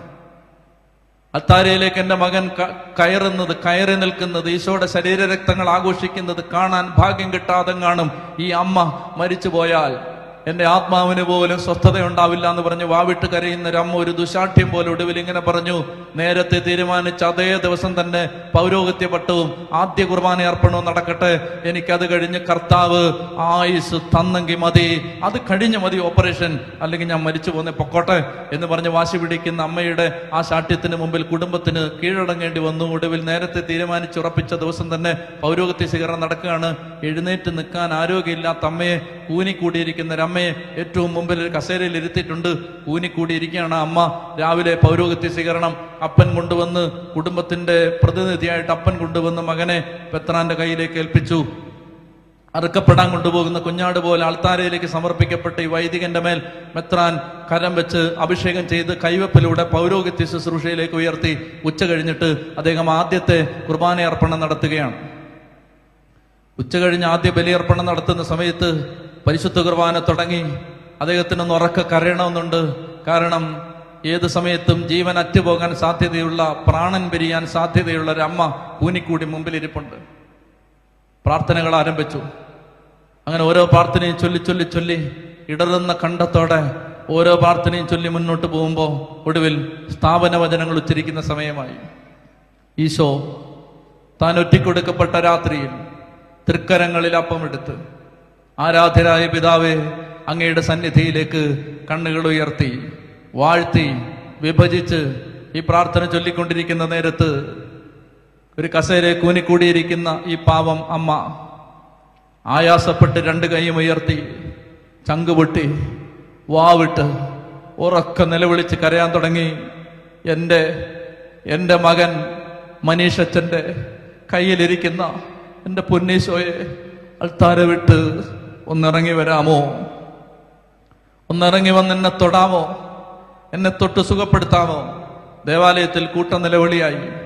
പരിശുദ്ധ കുർബാന എങ്ങനെ അച്ഛൻ ചൊല്ലിത്തീർത്തു പ്രിയപ്പെട്ട സഹോദരങ്ങളെ വടവാതൂർ സെമിനാരിയിൽ നൂറുകണക്കിന് വൈദിക വിദ്യാർത്ഥികളെ സാക്ഷി നിർത്തി പരിശുദ്ധ കുർബാന അർപ്പിക്കാൻ വന്ന മനീഷ് എന്ന കൊച്ചച്ഛൻ ഈ അദ്ദേഹത്തിന്റെ ഒരു കയ്യിൽ ഒരു സ്കാനിങ് റിപ്പോർട്ട് എടുത്ത് ഇങ്ങനെ ഉയർത്തി കാണിച്ചിട്ട് പറഞ്ഞു കോഴിക്കോട് നിംസ് ഹോസ്പിറ്റലിലെ പ്രശസ്തരായ പ്രഗത്ഭരായ ഡോക്ടേഴ്സ് എന്റെ അമ്മച്ചിയുടെ തലച്ചോറിൽ പഴകിപ്പോയ ട്യൂമറുകൾ ഉണ്ടെന്ന് കണ്ടെത്തിയ സ്കാനിംഗ് റിപ്പോർട്ട്. അങ്ങനെ നിർനിമേഷരായി വീർപ്പടക്കി നോക്കിക്കൊണ്ട് നിൽക്കുന്ന ഒരു സമൂഹത്തെ നോക്കിക്കൊണ്ട് അദ്ദേഹം ആ സ്കാനിംഗ് റിപ്പോർട്ട് താഴെ വെച്ചിട്ട് മറ്റൊരു സ്കാനിംഗ് റിപ്പോർട്ട് എടുത്ത് ഉയർത്തി കാണിച്ചു. ഞാൻ പൗരോഗത്യം സ്വീകരിച്ച് മധ്യാഹ്ന നേരത്ത് ഞാൻ ആദ്യത്തെ ബലി അർപ്പിക്കുമ്പോൾ എഴുന്നേറ്റ് നിൽക്കാൻ പോലും ആരോഗ്യമില്ലാത്ത എന്റെ പാവ അമ്മ ഒരു കസേര കൂനിക്കൂടി ഇരുന്ന് രണ്ട് കൈ ആയാസപ്പെട്ട് ഉയർത്തി.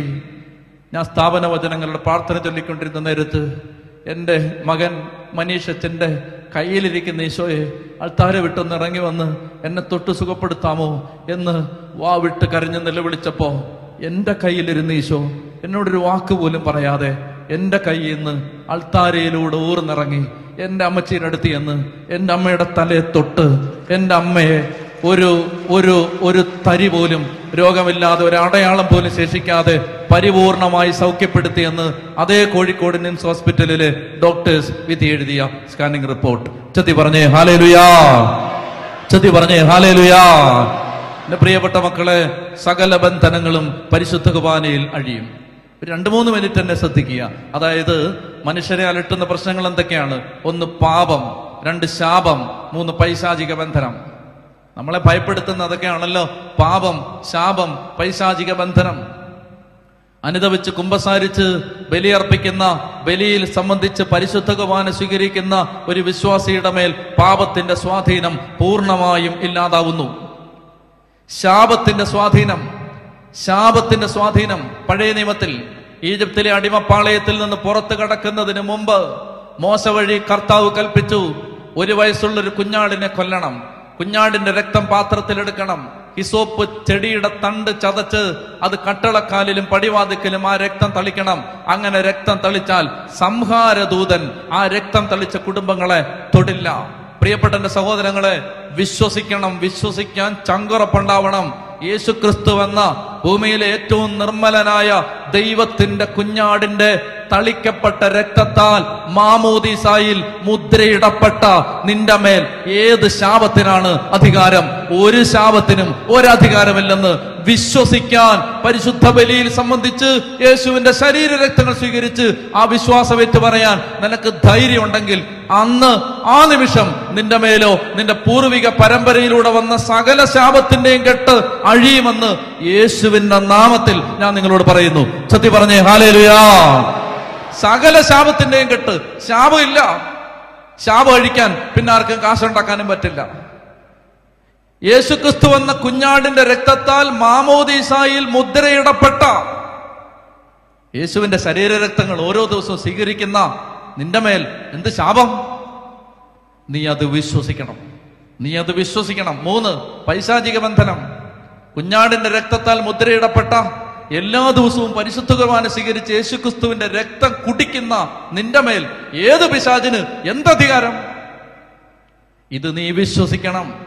ദൈവജനം ഇന്ന് ഭയത്തിന്റെ പിടിയിലാണ് ഭയത്തിന്റെ പിടിയിൽ ഭയം. ഈ ഭയമാണ് സകല പിശാചുക്കളെയും വിളിച്ചു വരുത്തിയത്. നിന്റെ മേൽ യേശുവിന്റെ രക്തത്തിന്റെ ശക്തിയുണ്ടെന്നും നീ സ്വീകരിച്ചത് ജീവിക്കുന്ന ദൈവത്തിന്റെ ശരീരമാണെന്നും വിശ്വസിക്കണം. ദൈവത്തെക്കാ വലുതല്ല പിശാജ് അങ്ങനെ ആരെങ്കിലും പറയുന്നെങ്കിൽ തെറ്റ്. അങ്ങനെ ആരെങ്കിലും വിശ്വസിക്കുന്നെങ്കിലും തെറ്റ്. ദൈവം സ്രഷ്ടാവാണ് പിശാജ് സൃഷ്ടിയാണ്. സ്രഷ്ടാവ് നിന്റെ അകത്തിരിക്കുമ്പോ സൃഷ്ടിയായ പിശാജിന് നിന്റെ മേൽ എന്ത് അധികാരം ചെത്തി പറഞ്ഞേ ഹാലേലുയാ. എന്റെ പ്രിയപ്പെട്ട സഹോദരങ്ങളെ ബലിപീഠത്തിൽ അർപ്പിക്കുന്ന ഒരൊറ്റ ബലി കൊണ്ട് നിന്റെ കുടുംബത്തിന്റെ പാവവും മാറും ശാപവും മാറും പൈശാചിക ബന്ധനവും മാറും. വിശ്വസിക്കാൻ തയ്യാറുണ്ടെങ്കിൽ നിന്റെ ദേവാലയത്തിലേക്ക് മടങ്ങിപ്പോക്കോ. ധ്യാന കേന്ദ്രങ്ങൾ തരുന്നതിൽ അഭിഷേകം നിന്റെ പള്ളിക്കകത്ത് നിന്ന് കിട്ടും. നിനക്ക് വിശ്വാസം ഉണ്ടെങ്കിൽ. ചത്തി പറഞ്ഞേ ഹാലേലുയാ. എന്റെ പ്രിയപ്പെട്ട മക്കളെ നമുക്ക് എഴുന്നേറ്റ് നിൽക്കാം. ഈ രാത്രിയിൽ കർത്താവിന്റെ ആത്മാവ് ശക്തമായി ബലിപീഠത്തെ സ്നേഹിക്കാനും ബലിയർപ്പണത്തെ സ്നേഹിക്കാനും യേശുവിന്റെ ശരീര രക്തങ്ങളെ സ്നേഹിക്കാനും നമുക്ക് അഭിഷേകം തരണം. എല്ലാ മക്കളും എഴുന്നേറ്റ്. കണ്ണടച്ച് രണ്ട് കരങ്ങൾ സ്വർഗത്തിലേക്ക് ഉയർത്തി. ബലിയർപ്പണത്തിന്റെ ശക്തമായ ഒരു അഭിഷേകം. എല്ലാ ദിവസവും പരിശുദ്ധ കുർബാനയ്ക്ക് പോകാൻ ഒരു അഭിഷേകം നിറയാൻ ആഗ്രഹിക്കണം. കയ്യാത്തിട്ട് അമ്മ ത്രേസ്യയോട് അമ്മ യേശോട് ചോദിച്ചു ഈശോ എനിക്ക് നിന്നോടുള്ള സ്നേഹം കൊണ്ട് എന്റെ ഹൃദയം പൊട്ടുകയാണ്. ഞാൻ എങ്ങനെയാണ് നിന്നെ കൂടുതൽ സ്നേഹിക്കേണ്ടത്? ഈശോ പറഞ്ഞു ഈശോ പറഞ്ഞു പോയി ഒരു കുർബാനയിൽ സംബന്ധിക്കുക. നിങ്ങൾക്ക് ഈശോയെ സ്നേഹിക്കണോ? ഈശോയെ സ്നേഹിക്കണോ? വിശുദ്ധ കുർബാനയെ സ്നേഹിക്കേ. വിശുദ്ധ കുർബാനയെ സ്നേഹിക്ക്. ഈശോയെ സ്നേഹിക്കണമെങ്കിൽ ഞങ്ങൾ ഒക്കൽഗോമയിൽ ചെല്ലുന്ന സമയത്ത് അവിടെ രണ്ട് ചെറു മൂന്ന് ചെറുപ്പക്കാര് അവർ പറഞ്ഞ അച്ഛാ ദേ അവിടെ ഒരു ഒരു ആരാധന ചപ്പൽ അച്ഛൻ നോക്കിക്കോളാൻ പറഞ്ഞു. വണ്ടിയിൽ ഇങ്ങനെ പോകുമ്പോഴാണ്. അപ്പൊ ഞങ്ങളത് ശ്രദ്ധിച്ചു. അവർ പറഞ്ഞു അച്ഛാ ഇന്ത്യക്കാരനായ ഒരു ഡോക്ടർ നടത്തിയിരുന്ന അബോർഷൻ ക്ലിനിക് ആയിരുന്നു അത്. അമേരിക്കക്കാരനായ ഒരു അച്ഛനും ഒരു ചെറുപ്പക്കാരനും ഈ അബോർഷൻ ക്ലിനിക്കിന്റെ മുമ്പിൽ പരിശുദ്ധ കുർബാനയുടെ ആരാധന ഒരു മണിക്കൂർ ആരാധന ഈശോയുടെ മുമ്പിൽ മുട്ടുകുത്തി ആരാധന നടത്തിയിട്ട് ജപമാലയും ചൊല്ലിക്കൊണ്ട് അബോർഷൻ ക്ലിനിക്കിന്റെ മുമ്പിൽ വന്ന് ജപമാല ഉയർത്തിപ്പിടിച്ച് പ്രാർത്ഥിക്കും. തിരിച്ച് ദേവാലയത്തിലേക്ക് ചെല്ലും. നിത്യാരാധന വെച്ചിരിക്കുന്ന സ്ഥലത്തേക്ക് ചെല്ലും. അവിടെ മുട്ടുകുത്തും. മുട്ടുകുത്തിയിട്ട് ഈശോട് പറയും ഈശോ ഇവിടെ നിത്യാരാധന വെച്ചിരിക്കുന്നത് പോലെ അവിടെ അബോർഷൻ ക്ലിനിക്കാണ് പതിനായിരക്കണക്കിന് കുഞ്ഞുങ്ങളെ കുരുതി കൊടുക്കുന്ന ഒരു സ്ഥലമാണ്. ഈശോ അത് തെറ്റല്ലേ ഈശോ? അത് തിന്മയല്ലേ കർത്താവേ? അതുകൊണ്ട് ഞങ്ങൾ പ്രാർത്ഥിക്കുകയാണ്. ഒത്തിരി പേരില്ല പ്രാർത്ഥിക്കാൻ? ഞാനും ഈ അച്ഛൻ പ്രാർത്ഥിക്കുകയാണ്. ഞാനും ഈ ചെറുപ്പക്കാരനും ഞങ്ങൾ പ്രാർത്ഥിക്കുകയാണ് ഈശോയെ. ഈ അബോർഷൻ ക്ലിനിക്കിൽ ഈ നിത്യാരാധന ചാപ്പലിൽ നിന്നെ എഴുന്നള്ളിച്ച് വെച്ചിരിക്കുന്നത് പോലെ ഈ അബോർഷൻ ക്ലിനിക്കിൽ നിന്നെ എഴുന്നള്ളിച്ച് വെച്ച് ഞങ്ങൾക്ക് ആരാധന നടത്തണം. അതാണ് പ്രാർത്ഥന. മാസങ്ങൾ കഴിഞ്ഞു. പ്രാർത്ഥന ഇവർ അവസാനിപ്പിച്ചിട്ടില്ല. ഇന്ത്യക്കാരനായ ഡോക്ടർ നിയമവിരുദ്ധമായി പലതും ചെയ്തതിന്റെ പേരിൽ അയാളെ പോലീസ് അറസ്റ്റ് ചെയ്യുന്നു. അയാളുടെ സമ്പത്ത് കണ്ടുകെട്ടുന്നു. സ്വത്ത് ഫ്രീസ് ചെയ്യുന്നു. അയാളുടെ സമ്പത്ത് സ്വത്ത് ലേലത്തിൽ വെക്കുന്നു. അബോർഷൻ ക്ലിനിക്ക് ലേലത്തിൽ വെക്കുന്നു. തുച്ഛമായ വിലക്ക് ഈ പള്ളി ഉൾപ്പെടുന്ന രൂപത അബോർഷൻ ക്ലിനിക്ക് ലേലത്തിനെടുക്കുന്നു അബോർഷൻ ക്ലിനിക്ക് മാറ്റി അത് വെഞ്ചരിച്ച് അത് നിത്യാരാധന ചാപ്പലാക്കി പരിശുദ്ധ കുമാരൻ എഴുന്നള്ളിച്ച് വെച്ച് ആരാധന നടത്തുന്നു. ഒക്കൽഗോമയിലെ ഈ ചെറുപ്പക്കാരന്റെ അടുത്ത് പറഞ്ഞു അച്ഛ അച്ഛൻ അറിയുമോ? അച്ഛന്റെ ധ്യാനം നടത്താൻ വേണ്ടി ഞങ്ങൾ മധ്യസ്ഥ പ്രാർത്ഥന ചെയ്തുകൊണ്ടിരുന്നത് ഒരിക്കൽ അബോർഷൻ ക്ലിനിക്കായിരുന്ന ഈ നിത്യാരാധന ചാപ്പലിനാണ്. എന്റെ പ്രിയപ്പെട്ട മക്കളെ വിശുദ്ധ കുർബാനയിൽ അഴിയാത്ത ഒരു കെട്ടുമില്ല ഒരു കുരുക്കുമില്ല. നമ്മളെ ആരോ തെറ്റിദ്ധരിപ്പിച്ചതാണ്. നിങ്ങളോട് ആരാണ് പറഞ്ഞത്? ആരാണ് നിങ്ങളോട് പറഞ്ഞത്? ധ്യാനകേന്ദ്രങ്ങളിൽ പോയാലേ കുരുക്കഴിയുമെന്ന് നിങ്ങളെ ആരോ തെറ്റിദ്ധരിപ്പിച്ചതാണ്. നിങ്ങളെ ആരോ തെറ്റിദ്ധരിപ്പിച്ചതാണ്. നിങ്ങൾ അർപ്പിക്കുന്ന പരിശുദ്ധ കുർബാനയിൽ നിങ്ങൾ പങ്കുകൊള്ളുന്ന പരിശുദ്ധ കുർബാനയിൽ നിങ്ങളുടെ സകല ബന്ധനങ്ങൾ അഴിയും. ധ്യാനകേന്ദ്രങ്ങളിൽ നിങ്ങൾ പോകേണ്ടത് വചനം കേൾക്കാനാണ്. വചനം. ദൈവവചനം കേൾക്കാൻ ദൈവത്തെ ആരാധിക്കാൻ ദൈവശക്തി കൊണ്ട് നിറയാൻ നിങ്ങളുടെ കെട്ടഴിയുന്നത് നിങ്ങളുടെ ഇടവക പള്ളിയിലാണ് ചത്തി പറഞ്ഞേ ഹാലേലുയാ! ഹാലേലുയാ! എന്റെ പ്രിയപ്പെട്ട മക്കളെ ഈ രാത്രിയിൽ കർത്താവിന്റെ ആത്മാവ് ശക്തമായിട്ട് നമ്മളെ അനുഗ്രഹിക്കാൻ പ്രാർത്ഥിക്കാം. രണ്ട് കരങ്ങൾ സ്വർഗത്തിലേക്ക് ഉയർത്തി കർത്താവെ പരിശുദ്ധ കുമാനയുടെ ശക്തമായ ഒരു അഭിഷേകം ഈ രാത്രി ഞങ്ങൾക്ക് തരണേ എന്ന് ആഗ്രഹിച്ചൊന്ന് സ്തുതിക്കട്ടെ. ഹാലേലുയാ ഹാലേലുയാ ശക്തിയോടെ സ്തുതിച്ച് അതിനെ തുറന്ന് സ്തുതിച്ച്.